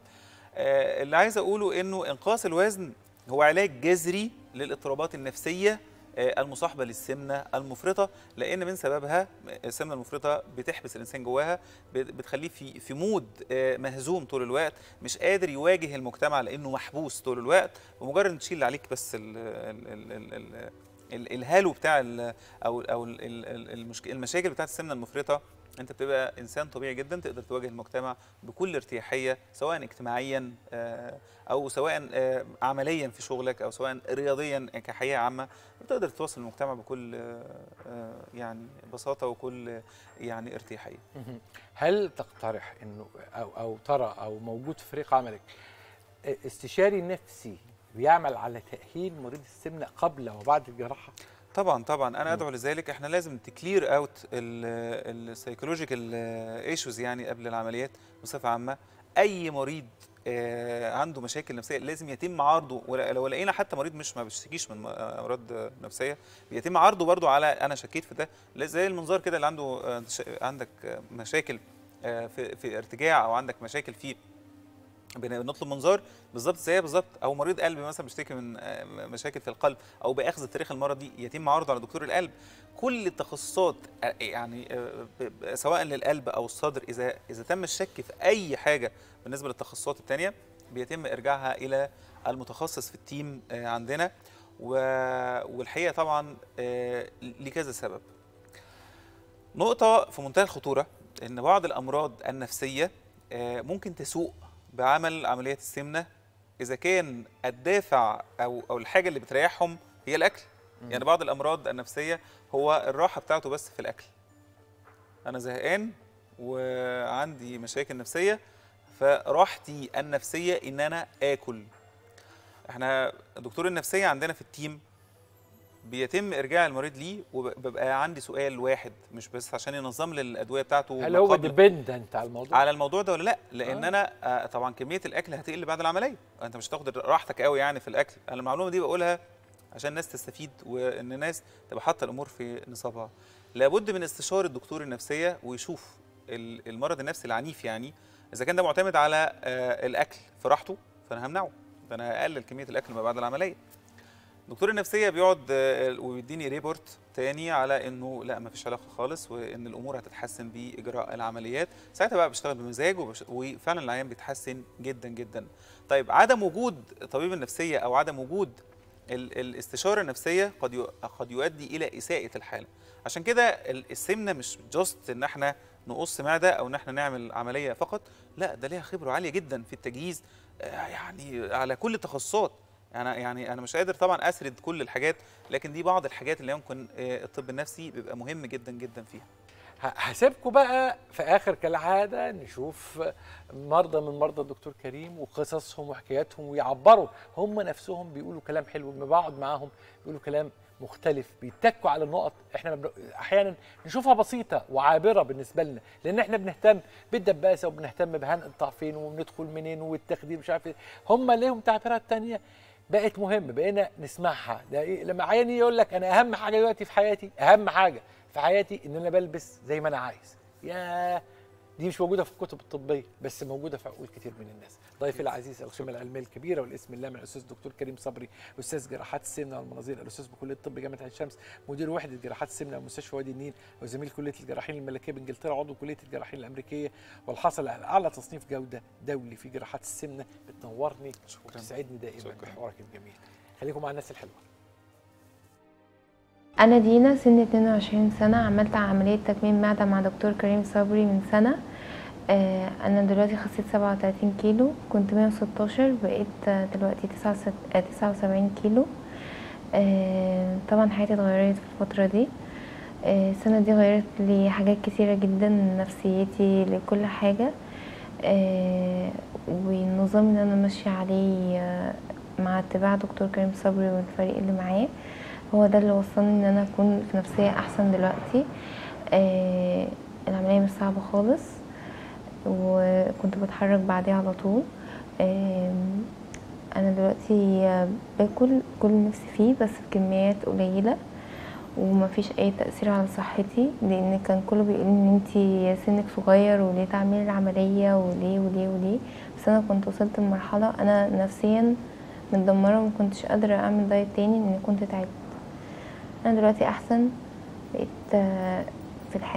في ال- في الحالة اللي أنا نفسي في... إن- حاجة اللي أنا كنت نفسي فيها. آه، دلوقتي بقدر أدخل أي محل ألبس اللي أنا عايزاه. آه، ما مش قافلة على نفسي بنزل وباجي وبشتغل. أنا كنت الأول ما بنزلش من البيت أصلا. الدكتور محمد مجدي النجار استشاري جراحات الشرج والمستقيم. عضو الجمعية الأوروبية لجراحات الشرج مدير مؤسسة هيموكيور لعلاج أمراض الشرج والمستقيم. أهلا بكم. طبعا نشوف بص الفكر بقى الناس بره بتعمل آه، آه، عايزين نقلد يعني الحاجات الحلوة ما نقلدش الحاجات الوحشة. بيعملوا آه، أفلام صغيرة قوي زي ما أنتم شايفين كده مجموعة من الأفلام صغيرة خالص عشان يعلموا الأطفال ويعلموا المراهقين لا فايدة العمل الجماعي. شكلها لطيف أفكارها لطيفة وكلها فاني وبتثبت في الدماغ إن أنت في كل النواحي الناس دي أنقذوا بسبب العمل الجماعي. في كل فروع الحياة العمل الجماعي له قيمة كبيرة جدا. كل الفروع في القانون في الإلكترونيات في التجارة في الصناعة في الكورة في الرياضة في الطب. الطب بقى كمان العمل الجماعي له أهمية كبيرة وخصوصا في مجال الجراحات. مجال الجراحات وخصوصا مجال جراحات الإنوريكتال اللي هي بقى ال- ال- ال- القناة ال- الشرجية أو الشرج وما فوقه. هذه المنطقة نتيجة التطور الكبير اللي حصل في التعامل مع هذه النوعية من الأمراض بأساليب جراحية less invasive يعني ما تعملش مشاكل لأنه كانت المشكلة عند واحد عنده مشكلة حول الشرج وليكن hemorrhoid وليكن ناسور هو تخوفه في ثقافته إنه خايف يعمل عملية فما يعرفش يتحكم في البراز. لأنه سمع إنه مش عارف سنة 60 حد دخل عمل العملية دي فحصل له كده. وبقت مشكلة كبيرة وتدخلها الثقافة اللي هي الثقافة الشعبية أو ال- الحكايات الشعبية تتدخلها بقى بنوع من التندر على الطب. الثقافة في الطب يا جماعة مهمه جدا. ومن ضمن الثقافة إن أنا أتقن فهم قيمة العمل الجماعي. أتقن كمين كمريض. لأن أنا لازم أبقى عارف إنه العمل الجماعي ده هو اللي بيضمن إن التكنولوجيا دي تتنفذ صح. لأن لما أجي أعمل عملية وليكن عملية مناصور فيها تكنولوجيا عالية جدا فيها ليزر فيها مناظير عالية الدقه آه، آه، يعني ذات دايمتر أو يعني رفيعة جدا. اللي بيمسك المناظير واللي بيفتح واللي بيستخدم الليزر الماشين غير الجراح غير فريق التبريد كله لازم يبقى مدرب عارف هو بيعمل إيه. وإلا هيتحول الليزر بدل ما هو نعمه إلى نقمة وهيتحول المنظار إلى useless useless material ال instrument ملهاش قيمة. فالعمل الجماعي هو ال- ال- اللي لازم العمل الجماعي المدرب لازم يكون جزء مهم جدا في هذه المنظومة. ده هنتكلم فيه النهارده وإزاي تحولت جراحات الشرج من جراحات سيئة السمعة إلى جراحات جميلة السمعة. مش حسنة لا ده جميلة السمعة. بدل ما تحولت يعني إيه سيئة السمعة؟ كانت عملية يقعد الواحد يقول لك فلان عمل عملية قعد شهر اجازه راحت منه امتحانات الثانوية العامة. ما دخلش امتحان الكلية وما ما لحقش حتى الدور الثاني الله الله الله الله ليه العملية ده عملية يا عم وقعد ونايم في البيت وما بيخرجش وبتاع. دلوقتي بيعمل عملية يوم السبت تاني يوم الأحد يروح شغله أو الاثنين يرتاح له يوم ولا اتنين حسب. بس برضه القفزة الهائلة دي وراها فريق عمل. النهارده حوار ممتع أكيد مع ضيف العزيز اللي بيسعدني أكيد وبيبدع في حواره العلمي. واحد من الناس اللي أنا بقول لهم دائما متشكرين على هذا الجهد وهذا ال ال ال ال- الزيارة هذه الزيارات الرائعة لنقل الثقافة ضيف العزيز ال- الاسم المتميز واحد من super stars المجال على مستوى الوطن العربي الحقيقة. الأستاذ دكتور محمد النجار أهلا بك. يا أهلا دكتور ايمن ازي حضرتك وحشني خالص. الله يخليك أنت. Hemo Cure الحقيقة يعني اسم الحمد لله. ما شاء الله. الحمد لله. و Cure حلو قوي اسم جميل. آه علاج. آه، شفاء. الحمد لله. قبل ما أدخل معاك في العمل الجماعي اللي هيدخل معانا أو هندخل فيه فايدة التطور الكبير عايزك تكلمني عن ثقافة الناس حول امراض الشرج وفهم أعراضها. أنت عارف أنت عارف إحنا عندنا في مصر الأعراض بتترجم ساعات غلط. صحيح 100% آه الثقافة دي كانت يمكن في جزء من من الأوقات معدومة. بدأت الحمد لله دلوقتي تبقى ترجع للناس تاني وبدأت الناس تاخد بالها من الأعراض اللي ممكن تظهر لها. بدأت الناس تاخد بالها من هذا المجال. يعني يمكن قبل كده الناس كانت تتكسف. يعني اللي عنده مشكلة في الشرج أو المستقيم كان يتكسف ويحرج. لما بدأت الناس تسمع آه وتاخد معلومات وتشوف إن في دكتور بيتكلم في الحكاية وبدل الدكتور يبقوا اثنين وثلاثه وعشرة بدأت يبقى في ثقافة بدأت الناس تعرف إنه مش لازم نتكسف آه، مش لازم يبقى عندنا خجل ابدا من إن إحنا عندنا مشكلة في الشرج. الشرج جزء من الجهاز الهضمي زيه زي أي حتة في جسمنا. إذا تعبنا لابد إن إحنا نتعالج صح يعني. الحمد لله بدأت الناس تاخد بالها من الأعراض. آه، هذا العلم أو هذا الجزء من من الجراحة جراحة الشرج والمستقيم الأعراض متشابهة. يعني لو واحد عنده آه، آه، هيمرويد لو واحد عنده بواسير أعراضه قريبة شوية من اللي عنده شرخ شرج أعراضه قريبة شوية من اللي عنده ناسور أعراضه قريبة بعد الشر على الناس كلها من اللي عنده سرطان وداخل المستقيم يعني هنا يجي دور الدكتور إنه يقدر يفرق ما بين كل حاجة هنا يجي دور زي ما حضرتك اتكلمت من شوية فريق العمل فريق العمل ده مش بس دكاترة دكاترة. وطاقم تمريض و... ومؤسسات وحاجات زي كده. فريق العمل ده عبارة عن جراح وعبارة عن راجل بتاع pathology يقدر يشوف إذا كان في حاجة في ال tissue ده ولا لأ. عبارة عن آه، واحد بتاع مناظير يقدر يورينا حاجات كويسة. مهندس يقدر يستخدم على الاجهزه الجديده الحقيقة إن فريق العمل ده زي ما حضرتك اتكلمت من شوية حاجة عظيمة جدا. عن نفسي أنا اتعلمت الحكاية دي. أنا اشتغلت شوية في ألمانيا في جامعة اسمها إليزابيث كولن في كولن في ألمانيا. اتعلمت هناك يعني إيه فريق عمل؟ إن الجراح بيجي يشتغل آه، العملية بتاعته حواليه عشرة بيساعدوه. حواليه واحد آه، بتاع تخدير شاطر قوي حواليه واحد بتاع مناظير شاطر قوي حواليه ممرضة شاطرة فاهمة هي بتعمل إيه. مساعد شاطر جدا بيوريه يعني قرار ما بقاش قرار فردي بقى قرار جماعي وفي الآخر آه، كل ده بيروح ناحية المريض الحقيقة يعني. الأعراض بقى والتشخيص بتاعها و... و... و... وترجمة الناس للعرض. يعني ناس تقلق إمتى تعرف إن ده عندي كذا؟ آه. يعني خلينا نقول in general كده إذا كان عندنا آه، مشكلة في الشرج والمستقيم هتتمحور حوالين خمس ست أعراض.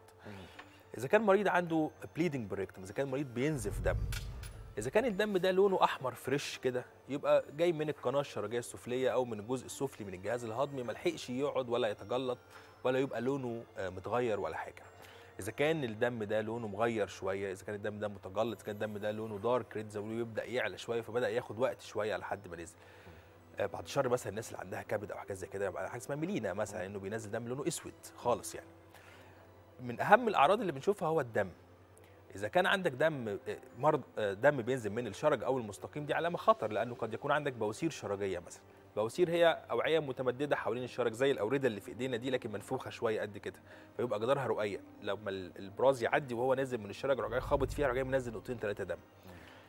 لكن في حتة حلوة قوي في الحتة دي يقول لك الدم ده بيجي مع مع دخول الحمام ولا وانت قاعد كده تلاقي دم نازل لأنه يفرق جدا.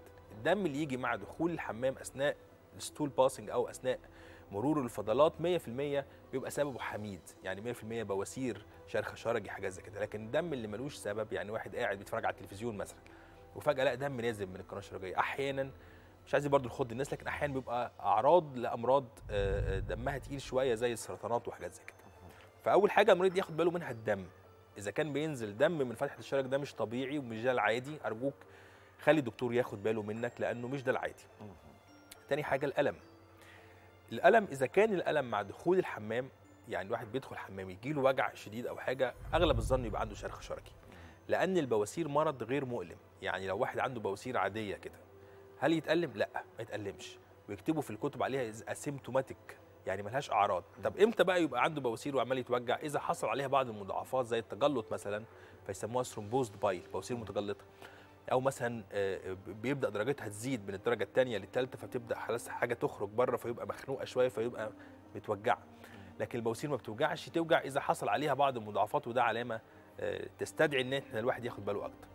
غير الألم آه، الإفرازات. إذا كان واحد عنده discharge ربنا يخلقنا الحتة دي dry يعني مش المفروض الواحد يبقى عنده بلل حوالين فتحة الشرج ما يحسش إن في إفرازات ما يحسش إن في مية ما يحسش إن في حاجات لونها أصفر ولا أخضر ولا كلام زي كده. إذا في discharge في حاجة مش مظبوطة. نروح بقى ونيجي في ال discharge ده نقول إنه قد يكون سببه ناسور شرجي وده الأشيع يعني. قد يكون سببه مش ناسور خالص حاجة اسمها proctitis proctitis يعني التهاب داخل المستقيم والمريض ساعتها ينزل mucus discharge يعني وكأن حاجات لزجة كده أو حاجة. الأعراض متشابهة. اللي عنده بواسير ممكن يبقى عنده وجع وعنده دم وعنده إفرازات اللي عنده شرخ شرجي ممكن يبقى عنده وجع وعنده دم وعنده إفرازات اللي عنده ناسور نفس الكلام اللي عنده بعد الشر ورم خبيث داخل المستقيم ولا حاجة ممكن يبقى عنده نفس الكلام. مين يقدر يشخص؟ الدكتور وشطارة التكنولوجيا الجديدة. كان زمان أو يعني ما أعرفش لغاية دلوقتي موجود ولا لأ كان ال clinical sense في ال examination اللي هو الفحص باستخدام ال- ال fingers كان هو الأساس بالظبط. في التشخيص. هل ما زلت موجود؟ الحقيقة لأ. آه وده انتهى من ثلاث سنين من النهارده لأنه اخترعوا حاجة اسمها procto station يعني إيه procto station procto من proctology من علم أمراض الشرج و station يعني محطة كاملة أو tower جامد جهاز عظيم جدا يمكن آه، آه، ذو حجم كبير يعني. وظيفته إيه بقى ال procto station ده؟ في ثلاث حاجات. في حاجة اسمها HRA high resolution anoscope يعني منظار مش المنظار بقى اليدوي بتاع زمان اللي كان لازم اللي هو ده بالظبط. tower كاملة جدا الحقيقة. فيها منظار. المنظار ده هيخليني أبص داخل الشرج مش هبص بعينيا بقى ده أنا هبص بالكاميرا اللي بت magnify كل حاجة اللي هتطلع الصورة على ال monitor الكبير ده على الشاشة الكبيرة اللي عندك اللي متكبرة جدا. لدرجة بقى إنه آه، بره يستخدموا ال procto station ده في إيه بقى؟ في الفحص المبكر عن سرطانات المستقيم. يعني يعملوا روتين خلي بالك مع الحاجات الروتين بقى يعملوها كل سنتين ثلاثة يخش يعمل procto station ده. الكاميرا بتبين إذا كان في أنسجة بدأت لونها يتغير إذا كان في polyps إذا كان في زوائد جلدية أو حاجة زي كده. فبقينا كل المرضى اللي يجوا العيادات نعمل ال high resolution anoscope اللي هو المنظار عن طريق الكاميرا اللي بالمناسبة لا يحتاج تخدير ولا في ألم ابدا لأنه حاجة رفيعة جدا. عفوا وكأن واحد بيحط suppository أو بياخد لبوسة أو حاجة زي كده حاجة رفيعة قوي بتخلينا وطبعا فيها ضوء عظيم جدا. بتخلينا نشوف كل حاجة جوه الشرج والمستقيم. مع ال high resolution anoscope أو ال HRA في endoanal ultrasound سونار. بقينا بنشوف بيه كل حاجة مستخبية ورا العضلات. يعني لو واحد عنده وجع وإحنا مش عارفين الوجع ده من إيه قد يكون عنده خراج deep seated يعني حاجة جوه قوي عمر ما الجراح هيشوفها السونار يوريها لنا ويورينا ال collection وكل حاجة. غير ال HRA وغير ال ultrasound بقى في anal manometry اللي بيقيس قوة العضلات. كل الأمراض حوالين الشرج كلها ما فيهاش غير خوف واحد عند المرضى إنه يحصل له عدم تحكم في البراز. يروح يعمل بواسير يقول لك أنا خايف يحصل لي عدم تحكم في البراز. يروح يعمل شرخ مع توسيع الشرج يقول لك أنا خايف. يروح يعمل ناسور يترعب من عدم التحكم في البراز. ولذلك بقينا بنعمل للمرضى الإن- ال endo ال anal manometry اللي هو فحص العضلات اللي بيورينا قوة العضلات قبل العملية وبعد العملية كمان. هل ال proctoscope بيستخدم في تشخيص كل الأمراض؟ كل الأمراض لأن هو الفكرة إنه المريض حتى كمان يعني هقول لك على حاجة من الحاجات المشهورة قوي إن المريض يجي لك العيادة يقول لك أنا رحت عند فلان الفلاني قال لي أنت عندك بواسير. بس رحت عند واحد بعديه بيومين ثلاثة قال لي لا ده مش بواسير ده انت عندك شرخ شرجي وبعدين جيت لك. ما هو خلي بالك سمع مليون رأي. ومين صح ومين غلط؟ ال- الصح هو ال procto station هو اللي هيوريك اللي بيخلي المريض نفسه يشوف. المريض نفسه بقى الفحص ده بقى بيشوف ما داخل وما حول الشرج على ال monitor. هو من قبل ما تقول له انت عندك كذا هو بيقول لك أنا شايف البواسير بتاعتي في الحتة الفلانية أنا شايف إن عندي شرخ شرجي في الحتة الفلانية. ولذلك أصبح يتعمل لكل المرضى باجراء غير مؤلم. لا يحتاج تخدير ولا أي حاجة الحقيقة. يتعمل في دقيقتين ثلاثة بيطلع ب report كامل آه، متصور فيه حتى الحاجات اللي إحنا عملناها. كمان بنقدر ن compare ال results يعني عملنا حاجة ال- ال- الصورة دلوقتي وخدنا أدوية ولا عملنا حاجة زي كده ونقدر نقارن ما بين الصورة دلوقتي وما بين الصورة بعد أسبوعين ثلاثة من العلاج وصلنا لحد فين ما بين الاثنين يعني. عشان ناخد المميزات الكاملة لازم يكون في فريق عمل أو يعني متخصصين بيعرفوا يتعاملوا مع النوع ده من التكنولوجيا. بالظبط. آه أنا في منتهى الفخر الحقيقة بفريق العمل بتاع هيمو كيور لأنه كلهم آه على درجة عالية جدا جدا من الكفاءة الحقيقة. كل واحد بيعمل حتة هو شاطر فيها جدا. آه زي ما بقول لحضرتك حتى ال procto station ده في دكتور مخصوص يبقى قاعد عشان أشطر مننا كلنا عشان يقدر يورينا الحاجات اللي إحنا ما نقدرش نشوفها. لما نيجي نعمل العمليات يبقى في واحد شاطر قوي بيمسك المنظار واحد شاطر قوي آه، مهندس طبي يبقى على أجهزة الليزر واحد شاطر قوي في وهكذا. يمكن الفريق الطبي الهيموكيور فيه 12 دكتور كلهم ناس آه، افاضل جدا وكلهم أشطر مني أنا حتى كمان وكلهم يعني الحقيقة في منتهى الشطارة اللي في الدنيا. لما نيجي نشوف إحنا عملنا التشخيص وقدامنا الحالة إيه التكنولوجيا اللي قدمت؟ يعني إزاي الليزر قدم حلول؟ إزاي آه، المناظير دخلت؟ إيه التطور اللي حصل في في ال- في المنطقتين دول؟ شوف إحنا كانت الجراحات القديمة لمجال الشرج والمستقيم ده خلينا في الشرج كمان خصوصا يعني تعتمد على القطع. عندك بواسير شيلها. اعمل جرح مش مهم.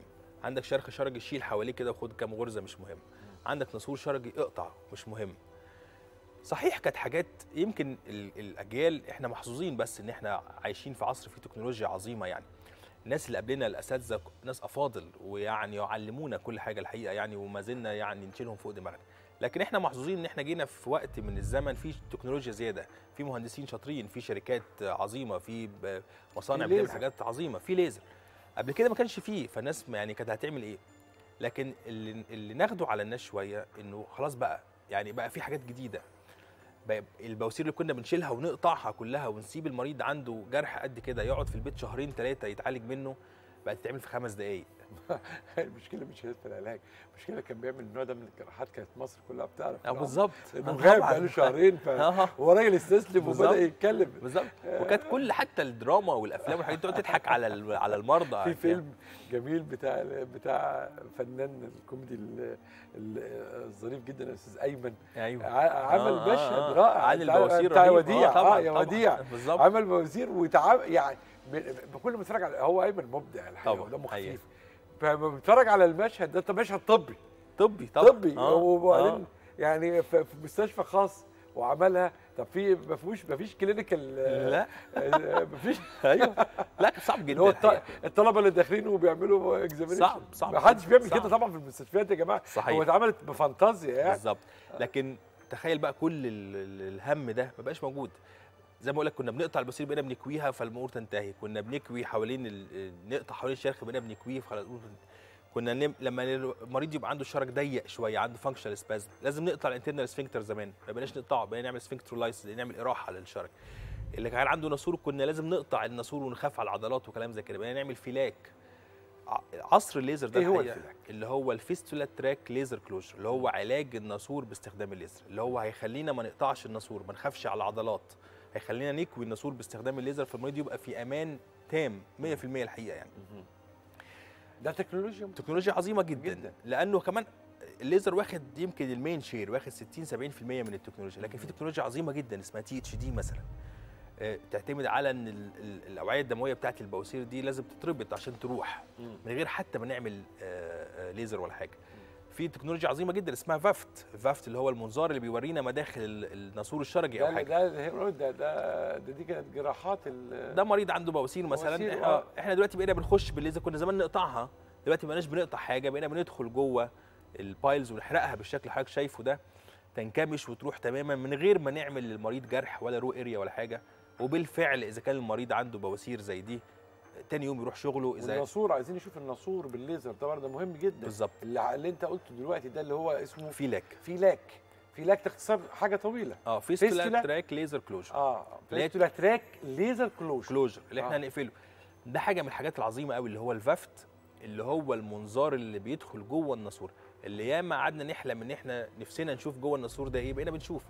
بقينا بندخل جوه ال tract أنا فاكر حضرتك قلت لي كلمة زمان الحقيقة وأنت بتعرف الناسور الشرجي قلت لي ده سرداب ده حاجة زي السرداب. السرداب ده يعني حاجة مستخبية جوه محدش شايفها. اهو السرداب ده ما بقاش سرداب دلوقتي بقينا شايفينه بقينا عارفين الطريق فين شايفين التشعبات شايفين ال wall بتاعة ال tract. السرداب هو نفق رفيع. بالظبط. السرداب نفق رفيع. بالظبط. بقينا بقى جواه بقينا آه. شايفين بقينا شايفين ال tissue بتاعه. يعني الحقيقة تقدم علمي عظيم جدا خصوصا في علاج الناسور الشرجي لأنه أصبح نتائجه كمان هايلة قوي. لما بن combine ال- ال VAAFT مع الليزر لما نحط المنظار جنب الليزر دي شركة أمريكية اسمها Storz دي شركة ألمانية اسمها Biolitec الاثنين بقوا جنب بعض يعني الحقيقة يعملوا آه، نتائج عظيمة جدا. التكنولوجيا ملهاش آخر ابدا في علاج أمراض الشرج والمستقيم وكل يوم بنلاقي حاجات تخلينا نبعد آه، المريض عن أي آه، أي حتة فيها خطر. هي الفكرة زي ما بقول لك إن الأمراض دي زمان كان فيها خطورة في عملياتها. الخطورة دي بقت زيرو. يعني بقى المريض يعمل عملية وأقول له أنت 100% مش هيحصل مضاعفات. الألم ما بعد العملية نقول لك أنت ما عندكش ألم لكن هل الألم نروح ونيجي فيه؟ آه. ممكن نعمل مريض ويتوجع يومين ثلاثة وأنا أقول له ده مش هتوجع في مريض نعمله يتوجع ساعتين ثلاثة لكن اللي ما فيهوش كلام ابدا ال safety اللي ما بيحصلش اللي ابدا ان هو دلوقتي ده اللي إحنا شفناه دلوقتي ده المنظار. المنظار اللي اللي هو اللي إحنا كنا بنشتغل بيه دلوقتي. اللي هو بالظبط اللي إحنا آه. بندخل بيه جوه ال tract آه اللي هو بيورينا الم- المليهات الصغيرة اللي كان مستحيل نتخيل أو نحلم إن إحنا نبقى عينينا. جوه ال tract آه،. جوه الناسور الناسور الليزر إذا كان بيدخل آه، لما نشوفه دلوقتي الليزر وهو بيتعامل مع الناسور هيمشي في الناسور ويحرقه من جوه بس مش بس شايفين مش كان شايف مش شايف مش شايف. بس يعتمد الناس على- متخيلة يعني إيه. فلاك بالظبط. يعتمد على خبرتك انت. يعني على الجراح وهو بيسحب بالملي وحاجات زي كده. ده إحنا دلوقتي بقى بقينا بنشوف وإحنا بنحرق. يعني خلي بالك هي اللي داخلة دي اللي هي الاسطره بتاعت الليزر. فبقينا شايفين وإحنا داخلين. لو في حتة آه، أنا ما خدتش بالي منها وأنا بحرقها تبان لي قوي بقى في الكاميرا. إن أنت ما حرقتش كل حاجة فقد يكون ده سبب لارتجاع الناسور. فخد بالك لازم تحرق الحتة دي تاني. اذا combination صعب ما بين آه، يعني combination محتاج آه، يعني آه، ادي ادي الليزر أهو داخل كان. بالظبط ده ده ده تكنولوجيا لوحده. بالظبط آه. فمش مش بس تكنولوجيا واحدة بقى ده انت وفرت للمريض كل التكنولوجيا اللي في العالم. آه. خلي بالك إحنا كان عندنا آه، خبير ألماني الحقيقة من الشركة بتاعه الليزر. على فكرة دول شركتين يعني دي ألمانيا اللي على اليمين دي ألمانيا ودي واللي على. الشمال أمريكا. بالظبط دي شركة Storz. كانوا بيحاربوا بعض في يوم من الأيام. بالظبط يعني. بالظبط صحيح. لا ده كانوا بيحاربوا بعض كابلات بالظبط بالظبط. دلوقتي شوف بيعملوا combination تعاون علمي بالظبط. على أرقى مستوى. وهو ده قيمة الأبحاث العلمية وهو ده قيمة فعلا يعني قيمة الإنسانية. العلم بيقرب ال ال يعني ال 100% كانوا بيفنوا بعض. بالظبط. أمريكا كانت بتفني ألمانيا. دلوقتي بقى بنشتغل سوا. آه. يعني بقينا أنا بقدم أنا شاطر قوي في تصنيع المناظير فعملت المنظار اللي هو ال VAAFT وأنت شاطر قوي في تصنيع اجهزه الليزر فعملنا الحاجتين مع بعض اللي يخدموا المريض. أنا بقول لك إحنا كان عندنا قريب آه، خبير كده من المانيا الراجل انبهر بانه هو جاي فاكر إن إحنا بنستخدم الليزر بس. فلما دخل وشاف ال machines والأجهزة وحاجات زي كده الراجل انبهر إنه ما شافش في مكان إنك واخد كل حاجة حلوة من كل حتة. يعني أكنك واخد ال- التطور الأمريكي كله في في شركة Storz واخد التطور الألماني كله في شركة Biolitec واخد الشركة الايطالي كله في ال THD مثلا procto station مثلا يعني. procto station ده بالمناسبة لأن أنا بحبه جدا الحقيقة. procto station ده واحد ال procto station ده كان موضوع الحوار بتاعنا. بالظبط. خلي بالك يعني- هو واحد من أربع أجهزة في الوطن العربي. ما شاء الله. يعني ال ال محطة التشخيص. الوحيد اللي في مصر بالمناسبة وكانت بالمناسبة جامعة عين شمس هتشتريه لكن ال- ال- المشاكل في الميزانية وحاجات زي كده وقف الموضوع عندهم. عندنا في في في Hemo Cure وموجود في دبي في مستشفى في دبي في مستشفى زليخة وموجود في بلدين كمان جوه الوطن العربي أربعة جوه الوطن العربي. في في إيطاليا وفي ألمانيا منتشر شوية. لكن جوه العربي اربعه أربع أجهزة بس. أجهزة تشخيصية. تشخيصية بس ما بتعملش حاجة ما بتعالجش آه. حاجة. على فكرة دايما بيبقى في بخل في الأجهزة التشخيصية. بالظبط. ما بيعالجش. آه لأنه أنت بتعمل إيه؟ يعني بص تلاقي إيه؟ أصرف يا عم على ليزر لأنه أنا هعمل بيه العملية. بس ما أنا. هشخصه. بالظبط. ما أنا ه- طب أنت عارف المقارنة فين؟ آه، اتنين دكاترة. واحد شاف المريض لمدة ثواني وقال له أنت عندك بواسير. وإحنا قعدنا ربع ساعة نشخص المريض بالأجهزة والصور وكل حاجة وفي الآخر إحنا قلنا له إن عندك بواسير صحيح. لكن أنا متأكد هنا إنه ما عندوش حاجة غير البواسير وهنا هو مش متأكد. هو خايف يكون عنده حاجة تانية أو حاجة يكتشفها جوه العمليات أو حاجة زي كده. هي دي بقى قيمة التطور وقيمة إنك يعني بتسعى الحقيقة للحاجات الجديدة كلها. أنت النهارده أسعدتني سعاده الله يخليك. النهارده اتفسحنا فسحة جميلة جدا. صحيح في عالم يعني فسحة جميلة. يعني النهارده على فكرة الحوار كان بدون ترتيب. إحنا النهارده كنا هنقعد نتكلم في ال procto station لقيت إن ال procto station ده يعني أسال لعابي العلمي في إن أنا أشوف بقى إيه اللي وراه شخصنا سيدي ماشي. الليزر. بقى الليزر يعني أبهرنا. قلنا لا ندخل ورا الليزر نشوف في إيه. تطلع كمان الطمع مش إن أنا أعمل الليزر عمياني ب- ب- ب- بجايد بمتتبع اللي هو الخيط الأزرق اللي شفتوه لا. ده أنا هشوفه بمنظر ده أنا بقيت شاطر قوي في الحاجات دي. جدا. والله كل تخصص يقولوا لي انت بقيت صحيح جدا والله. أنا منبهر يعني والله. الأسنان يا باشا والله. أنا عارف. بقيت أعدل عليهم وخطة على جاي أنا عارف أنا عارف. بروقهم في الأسنان. رغم إنها كلية طب ثانية خالص. صحيح. ضيفي العزيز الأستاذ الدكتور محمد النجار استشاري جراحات الشرج والمستقيم وعضو الجمعيه الأوروبية لجراحات الشرج وهو طبعا المؤسس لهيمو كيور لعلاج وأمراض الشرج ال- والمستقيم. نورتني وشرفتني ومن أنا أجمل اتشرفت. الحاجات اللي أنا يعني يعني روحك الجميلة اعتزازك بفريق العمل. ده مدرسة مهمة جدا صحيح. لازم ننقلها لكل كل الجيل الصاعد بقى ورانا. فريق أنت من غير فريق عملك صحيح. بتبقى مضطرب. مع فريق عمل بتحس بالأمان. اعتزازك بفريق عملك ده مهم جدا. واختيارك له مش موضوع سهل. ده موضوع عايز تركيز شديد جدا جدا. خليكم مع الناس.